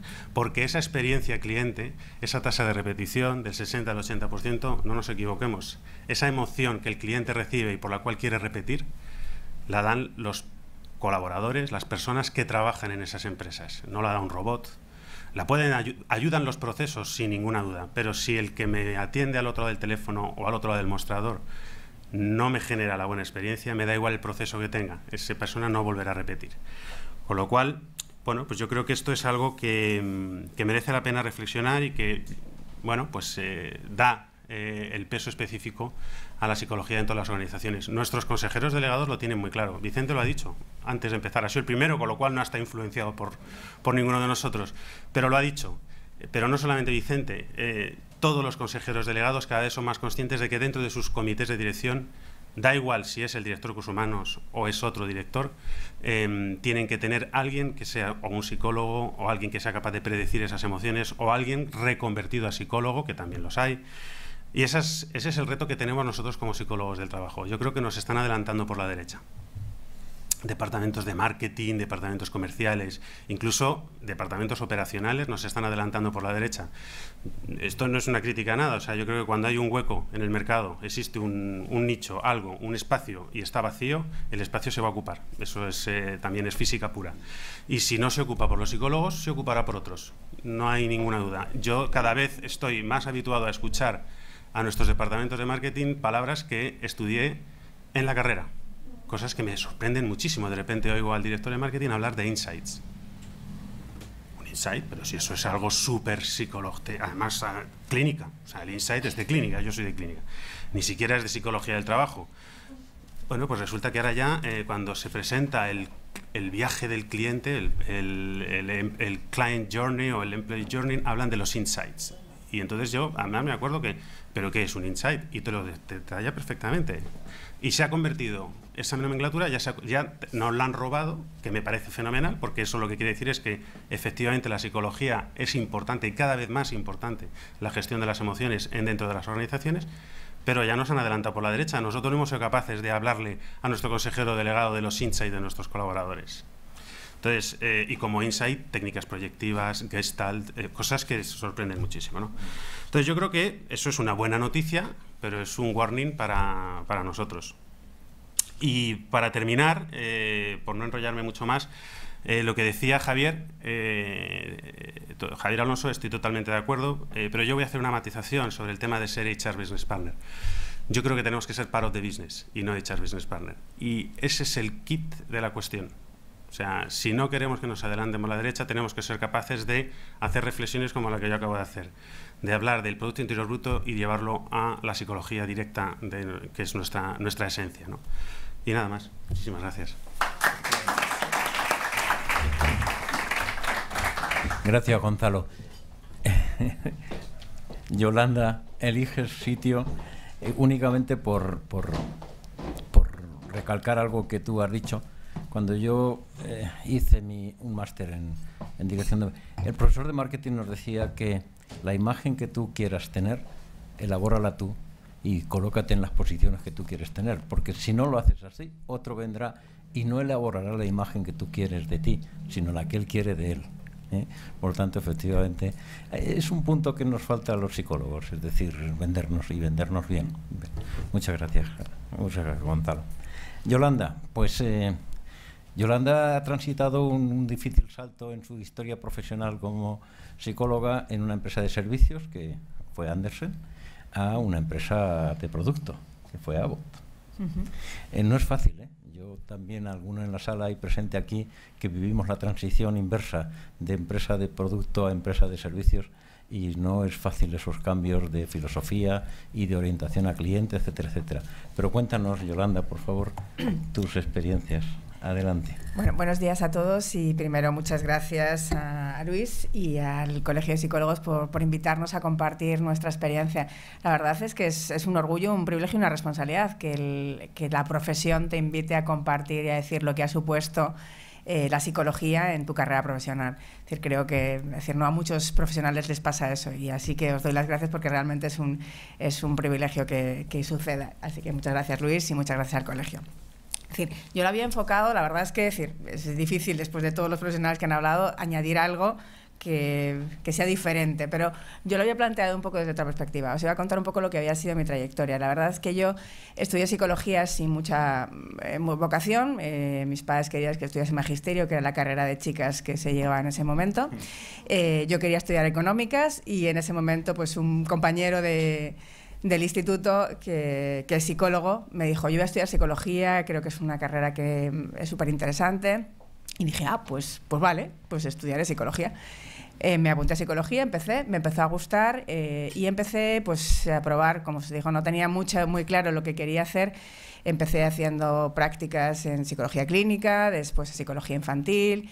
Todo me gustaba porque la verdad es que me, me interesa el tema, pero descubrí mi vocación cuando en la Autónoma, que era la universidad donde yo estudié, empezó un programa que se llamaba de cooperación educativa en organización y desarrollo de recursos humanos de repente empecé ahí y dije, esto es mi vocación. O sea, realmente me ha encantado lo que he hecho al principio, es decir, realmente decir, encontré algo que para mí tenía un propósito y que sentía que podía aportar ahí.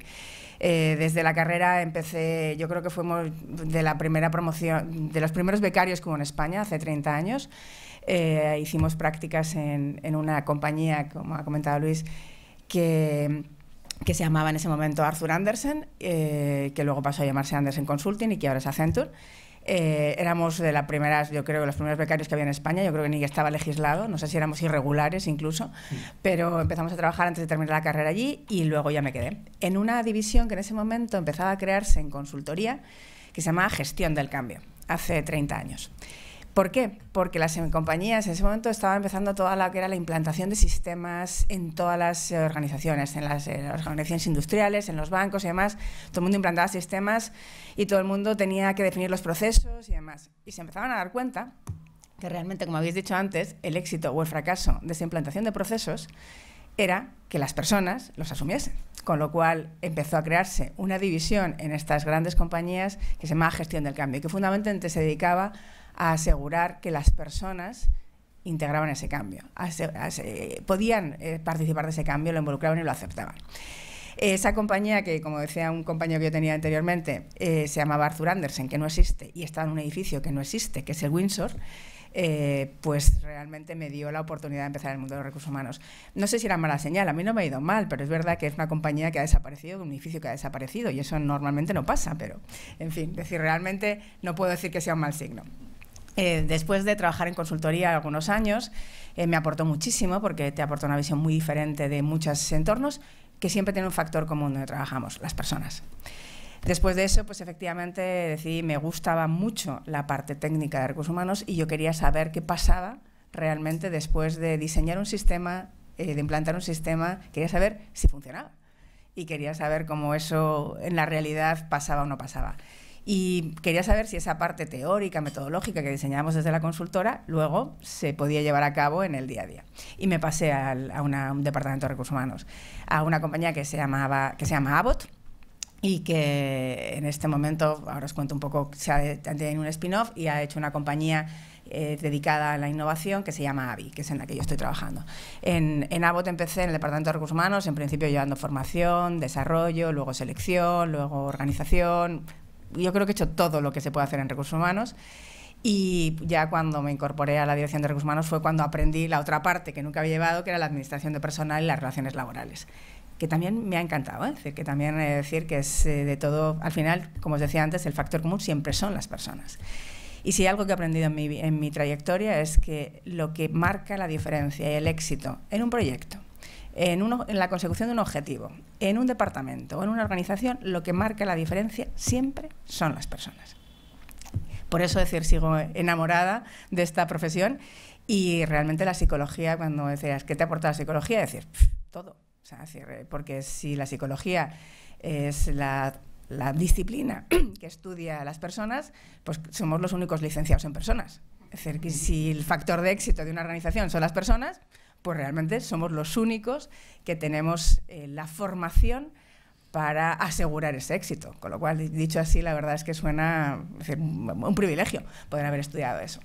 Es decir, la, como os decía, decir, eh, eh, Avi, y me dejáis ahora que os cuente en un momento decir, qué es esa compañía y por qué además significa mucho para mí la definición que hace la compañía.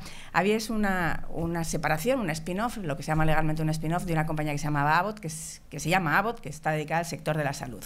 Y decidió en un momento determinado, pues estas son tendencias en los negocios, en el mundo eh, financiero y de negocio, que había una parte de ese negocio que se había diversificado porque tenía una compañía del sector salud que tenía temas de diagnóstico, temas de nutrición, temas de dispositivos y demás, y una parte farmacéutica innovadora. Y decidió que esa parte farmacéutica innovadora tenía que separarse del resto del negocio y que las tendencias y los modelos eran diferentes. Y decidió separarlo y decidió hacer una compañía nueva que se llama AVI, que viene de la el legado de Abbott, o sea, las, dos primeras, las tres primeras letras son iguales, A, B, B son iguales, y la segunda parte es B. Es la, el, prefijo, bueno, la, la, definición, la palabra latina que viene vida, entonces Abbott Vida. ¿Con esto qué quería decir? decir, es una compañía que, biofarmacéutica que se dedica al desarrollo e innovación de productos que mejoran la vida de las personas.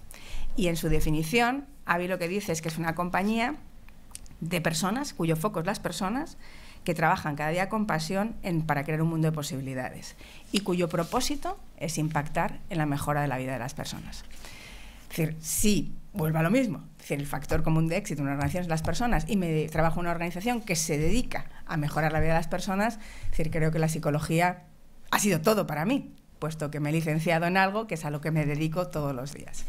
Pero esto de decir todo es decir mucho y no decir nada. Entonces, decir, si tengo que bajar esto a una parte más práctica, os diría, ¿qué aporta la psicología? Pues me ha aportado técnica, como decíais todos, ya habéis mencionado. Es decir, técnicamente, pues conozco la parte técnica de un departamento de recursos humanos, es decir, eh, como se decía antes, he hecho selección, he hecho formación, hay una parte técnica y metodológica en todos esos procesos que conozco, que me la ha dado la carrera, y hay otra parte que no es técnica esa parte no técnica es la que básicamente, si puedo definir mi trabajo, es decir, ¿qué me ha dado la parte técnica de psicología? Pues un 30% de lo que hago y un 70% es entender a las personas. Entender a las personas desde un punto de vista diferente. Y os decía, decir, pues, eh, decir, ¿por qué? Porque, porque las personas son únicas y creo que es algo que aprendemos en la carrera y entendemos de una forma natural y no todo el mundo lo entiende. Entonces, algo tan sencillo como eso, algo tan normal como entender que cada persona es única y que tienes que manejarla como única, pues no es fácil de entender para, muchos, para muchas personas en las organizaciones, sencillamente porque no lo ven así. Eh, como decía antes, yo, vivo en un mundo científico, sea, decir, yo mi día a día está rodeado de médicos, biólogos, eh, bio, bio algo. Es decir, mío, es decir, está en él, es su, vivo rodeado de personas que han estudiado ciencias, tremendamente científicas, donde los paradigmas y los procesos son, científicos, es decir, realmente se basan en la ciencia. En ese entorno, es decir, creo que decir, mucha gente puede decir, oye, tú has, tú has, estudiado farmacia, has estudiado biología, has estudiado medicina, es decir, no, yo estudio psicología. Y siempre lo he dicho con mucho orgullo, es decir, creo que los psicólogos tenemos un cierto complejo de inferioridad cuando nos comparamos con este tipo de profesiones. Es decir, no, perdona, yo he estudiado psicología y, tengo tanto conocimiento como tú o más del tema al que me dedico, incluso en muchas cosas mucho más. Y me ha servido también para entender ese mundo. El mundo científico tiene mucho que ver con la estadística que decíais antes. Es decir, yo puedo entender un estudio clínico sencillamente porque los parámetros que se manejan son los mismos que en un estudio experimental. De un, entonces, puedo entender los conceptos, que les sorprende muchísimo puedo entender los conceptos, puedo entender la explicación de un tema, de un tema eh, científico después de un estudio.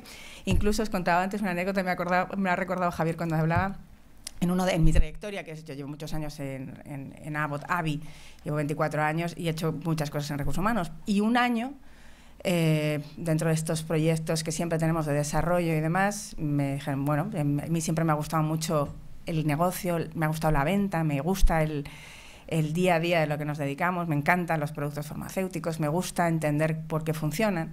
Y entonces decimos, bueno, pues si tanto te gusta la ¿por qué no te vas a negocio? ¿Y por qué no te vas a vender? bueno, pues, pues, sí, la verdad es que me apetece. Entonces, durante un año me dediqué a ser delegado de, de ventas o de visita médica, así que no un visitador médico. En ese momento se lanzaba un producto para la disfunción eréctil. Y pues claro, había que estudiarse el producto para la división eréctil y me di cuenta que yo entendía ese producto mucho mejor que todos los demás. porque entendía el proceso eh, que, que tenía que ver con la disfunción eréctil, pero además todo el componente psicológico que está detrás.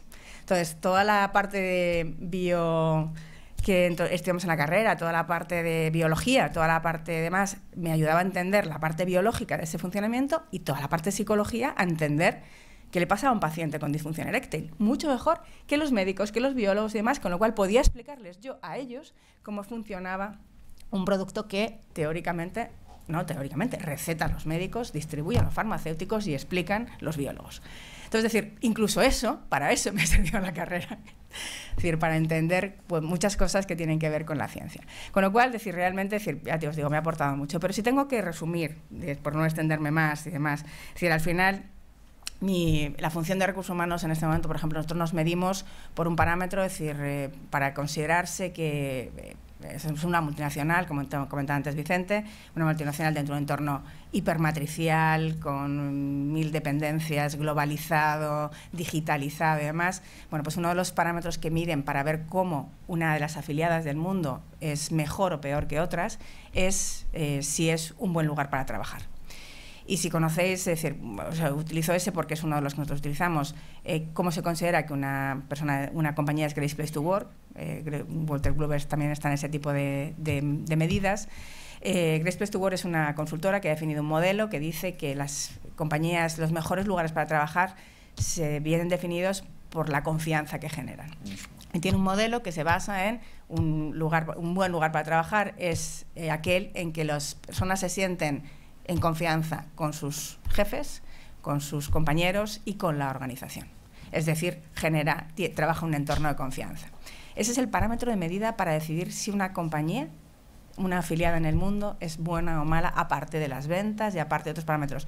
Uno de los cuatro parámetros que se consideran es ese aparte de los resultados, eh, etcétera, etcétera, que todo lo que se miden en todo el entorno financiero. Uno es que sea un buen lugar para trabajar. ¿Por qué? Porque como decíais antes, al final los entornos de confianza, los entornos de bienestar generan productividad y esa es nuestra razón de ser.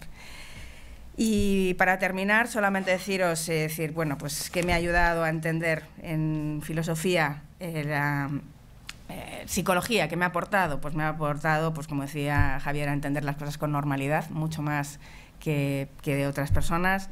Eh, somos los expertos en personas, somos los que, digamos, entendemos el comportamiento desde otra perspectiva y allí donde los demás, donde de otros compañeros míos ven números o ven procesos o ven organización, yo veo personas. Y esto que estoy diciendo es, es, muy, es muy importante y te ayuda a, tener que hablar su lenguaje para entender el tuyo. Cuando yo hablo con el director financiero y hablo de plantilla y hablo de headcount, que es el término que nosotros utilizamos para definir el número de personas que tenemos en una organización, él ve un headcount. Yo veo una persona. Y cuando hacemos planificación de plantillas, por ejemplo, y decimos, en los próximos cinco años eh, la plantilla, eh, el, el movimiento de la plantilla es cero, neto, ni vamos a incrementar ni vamos a disminuir. Y me dice, en cinco años estamos en cero. Y yo digo, no, perdona, en cinco años he hecho tres reestructuraciones, he hecho tres cambios, he creado dos departamentos y he movido a 120 personas. El neto es cero. Para el financiero es cero. Y para mí es una gestión de las personas internas en la organización brutal.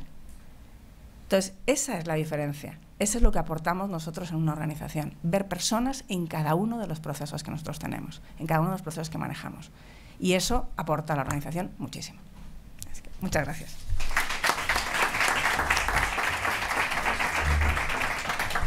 Gracias, Yolanda. Eh, efectivamente, no puedo evitar referirme de nuevo, a propósito de todo lo que nos ha dicho Yolanda, a, ponte, por favor, Susana, donde tú quieras, en el atril o en la mesa. Referirme al profesor Peiro, porque seguimos y continuamos eh, como secuela del, Congreso Internacional, eh, haciendo un trabajo para publicar, más allá de lo que nuestros amigos de Walter Kluger y Capital Humano, gracias José Antonio, eh, ya han hecho, publicar algunos artículos de investigación. Y he tenido la oportunidad de que él dije, me dijera en algún momento, a ver, los psicólogos tenemos 100 años de historia, de historia científica, de investigación, y no es lo mismo eh, hacer como hacía mi abuela, hablar y, tener sabiduría de refrán que tener sabiduría de investigación, investigación en las personas y que nos iguala y nos sitúa en el mismo nivel con una diferencia de que trabajamos con personas y no con eh, resultados estadísticos de beneficios o de cuantitativos. Por lo tanto, gracias Yolanda por tu aportación. Susana. Eh, Susana es una colega, una compañera que, también tiene una, trayectoria interesante, puesto que ella ha estado más en ámbito de servicios, en el eh, fascinante en los Juegos Olímpicos en Barcelona, en, en, el Grupo Perelada, en la Universidad de Barcelona en la gerencia, etcétera, etcétera, y finalmente eh, recaló y sigue estando en, eh, en la compañía de General Óptica, se llama así, ¿vale? Como directora de recursos humanos. Pero debo decir que ha sido presidenta de AEDIPE, AEDIPE Nacional y AEDIPE Cataluña también. Por lo tanto, eh, bueno, pues tiene una trayectoria muy rica en eh, aspectos relacionados con servicios y si cabe ahí más hablar de personas.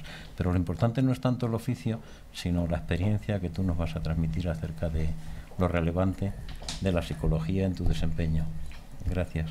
Gracias a vosotros. Bueno, después de lo que he oído tal, casi que pensaba en marcharme corriendo, así.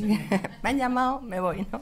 No, lo primero, gracias por permitirnos hoy estar aquí. Yo de verdad no esperaba lo que... El primer premio que me disteis, agradecí en el alma. Fue realmente un, hito y un después. Hasta mi propia gente me decían, ¿tanto otro premio? ¿Vas a, Madrid por eso? Yo, no, no. Creo que voy en justa medida a comentar cuál ha sido mi experiencia. Por tanto, lo primero, gracias por que nos hayáis permitido estar hoy aquí y poder compartir con vosotros esa experiencia. Y tengo que añadir dos cosas, porque claro, escuchando a Javier, escuchando a todos, yo iba haciendo, sí, sí, eso yo me lo he apuntado, eso, ese eco lo tengo, ¿no? Y creo que he añadido dos cosas para ser muy honrada al estilo que ha hecho Javier. Yo no soy de Palencia, yo soy de Mieres, yo soy asturiano, ergo soy minera, con lo que ello implica, ¿vale?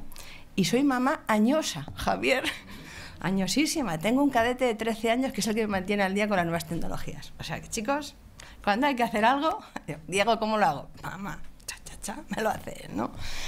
Y yo también hice, cuando recibí la pregunta, un poco una especie de lo que está tan de moda, mi relato en cierta manera, ¿no? Porque también he de agradecer al Colegio de Psicólogos de Madrid que me haya hecho pensar, aunque solo sea cuando venía en el AVE, ¿verdad? Si tú tuvieras que explicar cuál ha sido tu vida, ¿cómo la explicarías?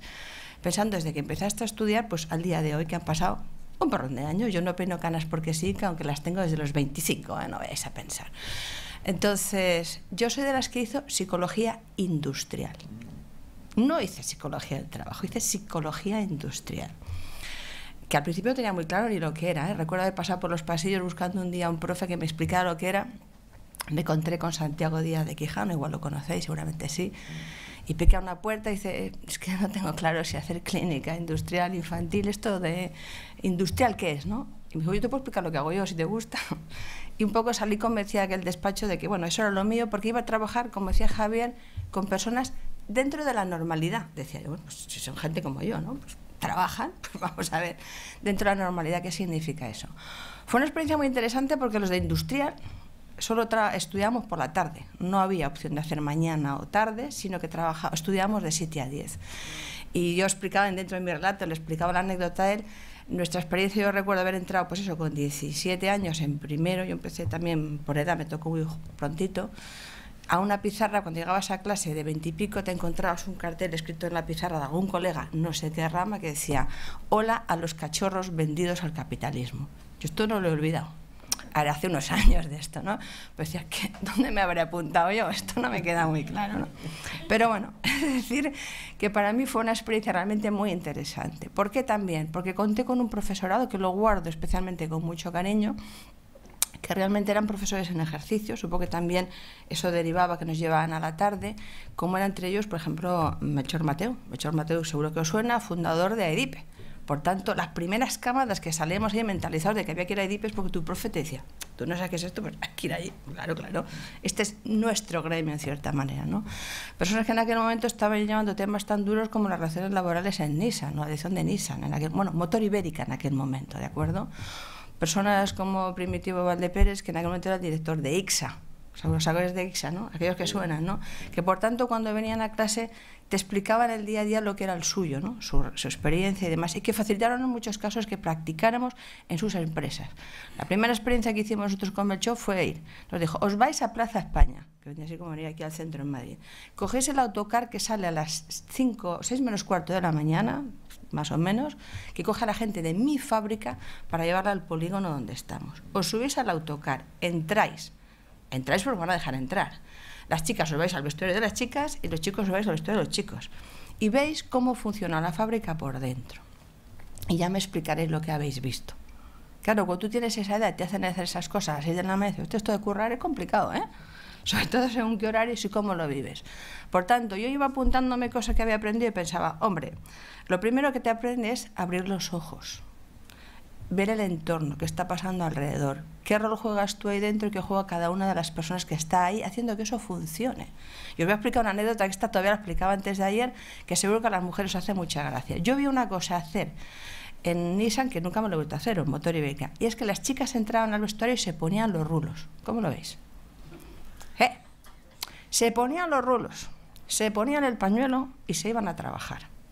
Y después me he enterado con el tiempo que las chicas de Nisa o de Motor Ibérica eran de las más buscadas, hablando en plata, de la gente que trabajaba en aquella zona, porque eran las que salían más guapas y más arregladas de la fábrica a las 3 de la tarde. Entonces sus novios las esperaban afuera. Claro, cuando yo ahora negocio con mi comité qué uniforme pongo a mi gente para que esté guapo trabajando, no puedo olvidar los rulos que vi poner a las 6 de la mañana en un vestuario en una manera determinada. ¿no? Y realmente dices, coño, esto de las empresas realmente es muy, muy interesante. Y eso, como muy bien dice, yo no soy de fábrica, y admiro a la gente que trabaja más en fábrica porque a veces me cuesta mucho entender qué motiva a esa persona, por ejemplo, en mi empresa actual, que está en, en, en Derrigo, poniendo la varilla ¿verdad? Una montura una tras otra cada día, cada no sé cuánto tiempo, ¿no?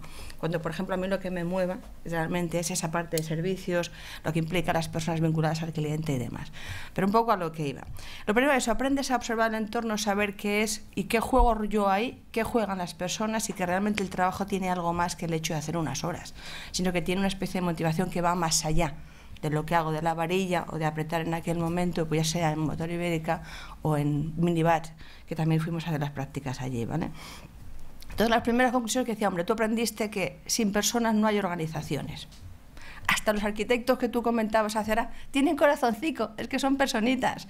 Por tanto, realmente es que se está aflojando la parte aquella no tan técnica, sino nada más de persona. Realmente detrás de cualquier cosa hay personas y a veces se nos olvida en cierta manera. Ahora hablamos de entornos robotizados y da un poco de miedo porque nos sustituye el robot, el robot, el robot.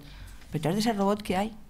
Alguien que está pensando en personas, en cubrir necesidades de otra manera y en trabajar de otra forma. Pero los robots no se generan por tema espontáneo, los estamos haciendo nosotros. ¿Por qué? Pues siempre hay personas detrás, con innovación, con creatividad, con aportaciones, que están viendo la vida de otra manera. Sin personas no hay organización por pequeña que sea. 3, 5, 40, lo que insisto. El factor humano está por todas partes, en, en los valores, en la competitividad, en los empleados. Los clientes son personas. Todos oímos hablar, porque habláis antes de los marketingianos. Claro, ellos hablan de la experiencia de cliente, la customer experience, el mapa del cliente, el del cliente. Pero ¿quién lo atiende? Otra persona. Y en este caso es una organización que trabaja de persona para las personas. Estoy rodeada de técnicos, porque la mayoría son ópticos. Bueno, los ópticos son un perfil también especial, ¿eh? sedientos de conocimiento, súper técnicos y demás tiene corazón, ¿eh? Claro, cuando un óptico te explica, qué día he tenido hoy, ha sido genial, ¿sí? Mucha gente, pues no, no. He tenido una niña de 8 años que jamás le habían diagnosticado o nunca le habían medido el grado de deficiencia visual que tiene. Y cuando le he puesto las gafas, ha hecho así, ha dicho, oh, pero qué bonito es el mundo, ¿no? Porque se ha asomado a la ventana para que vea los árboles que hay enfrente de la tienda y se le han caído dos lágrimas. Dice, casi lloramos todos, el padre, yo y todo el mundo. Esa forma parte de esa cultura que tiene mi gente ahora. Y tengo chiquicientos técnicos, como tú bien decías también. ¿no? El factor humano para mí, que es lo que he aprendido también, es realmente, y lo habéis dicho uno de vosotros, es el factor diferencial de las organizaciones. Yo me cansaba de decir a la gente que me escucha que al final todo se puede copiar, comprar, aprender. Pero mi equipo es único, mi empresa es única. La combinación de esa gente es única. Por tanto, para mí, ¿qué es? La variable diferencial y sostenida en el tiempo que incluso me permite competir con otras empresas. Porque al final también lo has dicho, en las empresas no son ONGs, debemos de sobrevivir, debemos de mantenerlas. ¿Y qué se nos pide? Jugar con las dos, con objetivos sí, pero con personas también. Alinearlo y ser capaz de que eso funcione de la mejor manera posible. Incluso aunque haya que despedir, que por aquí ha salido, ¿verdad? Es muy fácil decir hay que reducir, te ha tocado. Y para eso probablemente fue la parte que la carrera no nos preparó. Yo recuerdo mi primer ERE, que se me han saltado las lágrimas. Y yo recuerdo que al que despedía, que lloramos juntos, yo decía, joder, Roberto, que mi jefe nunca se entere que nos hemos echado ya los dos juntos y que nos hemos besado prácticamente cuando te ibas. Hay que decir que es un vasco muy majo y que me decía, es que me ha pasado esto a mí, ¿eh? ¿Cómo me iba a pasar a mí? Este un jefe de taller potente de un montón de años. Y me decía, claro, yo que le he dicho a mi gente, aquí se puede decir tacos. Yo le he dicho a mi gente, al que entra ahí dentro, o sea, hablar conmigo, y, salga llorando, le doy dos hostias. Es muy vasco, ¿eh? Y decía, porque se puede perder el trabajo, pero nunca la dignidad. Y claro, como él lloró conmigo, me decía, ¿qué les digo ahora? ¿Me entienden? Vamos a dejarlo aquí. Pero como decía Horacio Quirós, que yo le tuve el placer de conocerle, que era el presidente de la Mundial de Recursos Humanos, ¿verdad? Nuestro una edipe, por decir una manera, me decía, ¿quién nos va a despedir con más cariño que nosotros? ¿De acuerdo? Debe ser eso, Horacio. Dicho eso, si hay que despedir por un tema disciplinario, somos los primeros que tenemos que hacerlo bien, ¿no? Pero cuando entras en un ERE que no está previsto, que el entorno no sé qué, que te vas con gente que lleva no sé cuánto tiempo contigo, también hay que saber hacerlo. Y esa parte de persona también forma parte de lo que tenemos que hacer, ¿vale? Al final todo tiene, cobra mucha importancia. Yo repasar incluso autores que a mí me quedaron de mi época, es decir, los conocimientos de las personas, eh, cómo los entiendo, qué competencias tienen, cómo las mido, ha salido antes, ¿verdad? He de saberlo. He de hacer eh, la importancia de la cultura organizacional, cómo mido el clima. Eh, cada empresa tiene su relato, tan de moda el storytelling, para que la gente lo entienda. Es curioso, antes explicábamos la historia de la compañía y no asociábamos lo que era el storytelling. Es lo mismo que ir al psicólogo o ir al coach, ¿no? Es decir, todo lo que acaba en in se pone de moda y hay que hacerlo, pero en realidad el sentido común que creo que lo que tenemos, la mayoría de los que trabajamos esta carrera al final, es lo que más deberíamos poner en práctica. ¿no? ¿Quién no se ha acordado de mayo? ¿verdad? Cuando yo cojo un grupo les digo, vamos a ver cómo mejoramos el proceso. Coy, en aquel grupo funciona como la bomba. ¿Qué hacía Mayo? O cuando hablo de cómo entraron las personas, ¿te acuerdas de los patos de Lorenz, verdad que sí? Y qué había que hacer y cómo hacer un buen proceso de integración para que te compren tu cultura, tu relato, se integren mejor en los grupos. Y eso, hasta que tú no llegas y lo pones en marcha, probablemente nadie cae en la cuenta y lo están, perdón, y lo están haciendo de normal muchas veces, porque forma parte de esa cultura y de esa organización, ¿vale? Motivación, compromiso, yo comparto lo que él dice, hay que venir motivado, igual que vienes duchado de casa, hay que venir motivado. Lo que hay que hacer es cómo hacer para no desmotivarlos, Pensar y cómo debemos de gestionar con esos mandos qué equipos tienen, que son personas igual que ellos.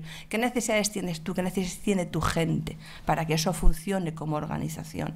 Yo entré en una organización cuando me enseñaron el organigrama, y aún lo guardo y lo presento, todo uno me dice, joder, realmente, un organigrama que empezaba evidentemente absolutamente piramidal aquí arriba, que cuando bajaba toda la escala de mandos, gerencias, no sé qué más, aquí abajo ponía un cuadrito que decía eh, red de tiendas y estaba en rojo. Y decías, esto es el negocio, vivís de esto. ¿Sí? ¿Has visto el peso que tienen encima? ¿No habría que darle la vuelta a esto y pensar que el protagonista son ellos? ¿Todos somos protagonistas? Sí, pero probablemente de quien dependemos son de ellos. Y no solamente de esa tienda, sino de este señor que soy yo, el que atiende, y él que es mi cliente. Y al final, ¿a quién he de cuidar yo? De pensar en el que atiende en esa persona que sí es protagonista de cada uno de los procesos de la organización. El ejemplo que les daba al final, ¿cuál era? Esto aplíquense el cuento, señoras y señores, me lo explicaba así muy a, lo minero, ¿no? Hay que tener muy bien hidratada, muy bien cuidada esa organización. Porque si yo me acerco y mi cliente se acerca y rasca, o porque no está bien depilado, bien rasurado, yo no repito, yo no fidelizo cliente. ¿De acuerdo? Me siento maltratado. Si mi trabajador está bien, hablamos de entornos saludables, de entornos cuidados, de compromiso, seguirá conmigo, pero es que además dará un buen trato. Será mi embajador de, de marca. Hará que el cliente repita. Yo no hablo de retener, hablo de fidelizar. Porque tú puedes tener muchas posibilidades de ligar, pero fidelizar es diferente. Esto hay por ahí que lo explica muy bien, los marketeers lo explican muy bien. Eso para mí es muy importante. Por tanto, he de pensarlo, he de pensarlo siempre desde el punto de vista de personas, ¿de acuerdo? Hasta la asignatura de diseños experimentales nos fue bien a todos, yo creo. Mm, y lo habéis comentado antes. Perfilemos competencialmente qué necesito pensando en los puestos. Hago grupos de control para ver cuál es el perfil ideal del director que tengo que tener dependiendo de la zona. De cómo monto el equipo para que, según los roles de Belvin, funcione mejor el grupo y no sean todos monitores y evaluadores de easy, easy, easy, ¿verdad? O grandes lumbreras de ideas que al final les van a machacar porque viene dada la pauta desde los servicios centrales probablemente tiene que estar en otra organización. Por tanto, todo lo que hemos estudiado, siempre y cuando pongas a la persona en el centro, que al final somos los que hacemos las empresas y las organizaciones, nos funciona y es básico tenerlo. Por tanto, a mí la carrera yo creo que me aportó todo y más, diría. Y más si hago esa especie de reflexión, como tú hacías, ¿verdad?, de lo que he ido viendo y cómo lo he ido aplicando, ¿no? Hablamos de, antes hablábamos de aprendices y de maestros, ahora hablamos de mentoring y del mentoring inverso. Yo tengo antigüedades en este momento que de 40 años. Cuando aparece un chavalete de 20, coge lo del SAP, que el mayor hace así, y en dos minutos casi que se lo explica mejor al que tiene al lado. Nos preocupan mucho las nuevas generaciones, sí, porque hay un tema de eh, conciliación, pero la línea que decía Javier, a mí me hace mucha gracia cuando dicen, a las seis nos vamos todos para casa. Yo lo he oído en más de una reunión, incluso antes, y se puede trabajar desde casa. Y yo digo, mis ópticos no se pueden llevar la columna de refracción al comedor de casa porque a día de hoy los clientes, que somos el resto, ¿verdad? Y ellos mismos son clientes, seguimos yendo a comprar por la tarde o cuando acaba la película el sábado. ¿eh? Y mis chicos están desde las 4 esperando que alguien venga y dice, bueno, está para acabar la película, ahora van a venir. Por tanto, todo eso está más vinculado a cómo puedo estar bien, cómo puedo conciliar de otra manera que no por ley me digan que a las 6 me tengo que marchar porque eso significaría otro tipo de cosas. ¿no? Ahí podemos estar yo creo que a veces las leyes van un poco al rebufo. ¿no? Y probablemente fue la parte que a mí me faltó desde el punto de vista de formación. Si tú dices, ¿qué es lo que te faltó? ¿Y qué le dirías a la gente de psicología que hiciera ahora? Probablemente algo de relaciones laborales. ¿Pero por qué? Porque acabamos todos en ese entorno. Se pensaba que eran los abogados los que tenían que hacerlo y nosotros lo de las leyes como que no lo tratábamos. ¿cómo, íbamos a despedir? En todo caso, contratar, formar, desarrollar, pero no despedir. ¿no? Esa parte me faltó. Mm, pero es lo que dice, al final aprendes de todo, llegas y te acabas mm, acomodando al puesto y a tu propia historia como desarrollo personal. ¿vale? Yo recuerdo haber escrito un, artículo no hace mucho que fue para una revista, creo que además de Capital Humano, que hacía referencia a los Juegos Olímpicos. Los Juegos Olímpicos eran la gente. Sin gente no había juegos. Yo recuerdo a José Miguel hablando de la diferencia de los juegos nuestros, los mexicanos o los alemanes, que además por desgracia tuvieron un atentado. Decía, el objetivo nuestro cuál era? Era ser lo suficientemente estrictos, porque los juegos de los alemanes fueron realmente, los de Berlín, estrictos en cumplimiento, en horario, en procedimiento, ¿de acuerdo? Los mexicanos eran mexicanos, fueron los juegos de la alegría. En el sentido que, bueno, igual llegaban a tiempo, que no llegaban a tiempo, pero se lo pasaron bomba. Y decía, somos mediterráneos, deberíamos hacer un mix, ni mexicano ni alemán, ¿no? Pero realmente el que le dio el carisma y la forma de trabajar, al final fueron la gente que participó y que trabajó y que fueron muchos, ¿de acuerdo? Y de futuro, para acabar, porque creo que se acaba el tiempo, ¿qué creo que mm, deberíamos tener o, cómo ver la función de recursos humanos? Yo me he apuntado dos cosas. Para mí es estratégica, para mí es transversal, para mí es circular, es que está en todos los lados porque sigue habiendo personas en todas las direcciones. No puedo entender que todavía alguien diga, hombre, me han llamado al comité de dirección. Digo, que te han llamado al comité de dirección? Es que si no estás, hay un problema en esa organización y es cómo viven el componente humano que esa organización hace que funcione. Porque sin gente tú no tienes empresa. Y ya así de claro. Y soy de las que cree que tenemos tanto que hacer como que deberíamos llevar las direcciones generales y dotarnos de gente técnica muy buena que te ayude a poner y digitalizar y medir esa parte de procedimiento, pero con esa visión transversal y genérica. Creo que lo dije cuando me dabais el premio, ¿no? Primero fueron los ingenieros para ponerlo en marcha, después vinieron los directores de ventas porque había que vender mucho, los que iban a la dirección general, ¿no? Después los marketingianos porque había que vender y cómo vender más. En un momento donde el talento escasea, es diferencial, tiene otros requerimientos, tiene que querer, probablemente hay que pensar las organizaciones desde el ángulo de la persona. Y en ese sentido yo creo que es donde tenemos mucho para hacer y mucho para trabajar. Y me queda con una cosa ya para acabar que me ha encantado lo de la vocación. En el fondo somos cruzados, ¿qué más queréis? pues adelante a los cruzados y muchas gracias de nuevo por habernos permitido al menos no compartir con vosotros las experiencias. De verdad, gracias. Gracias.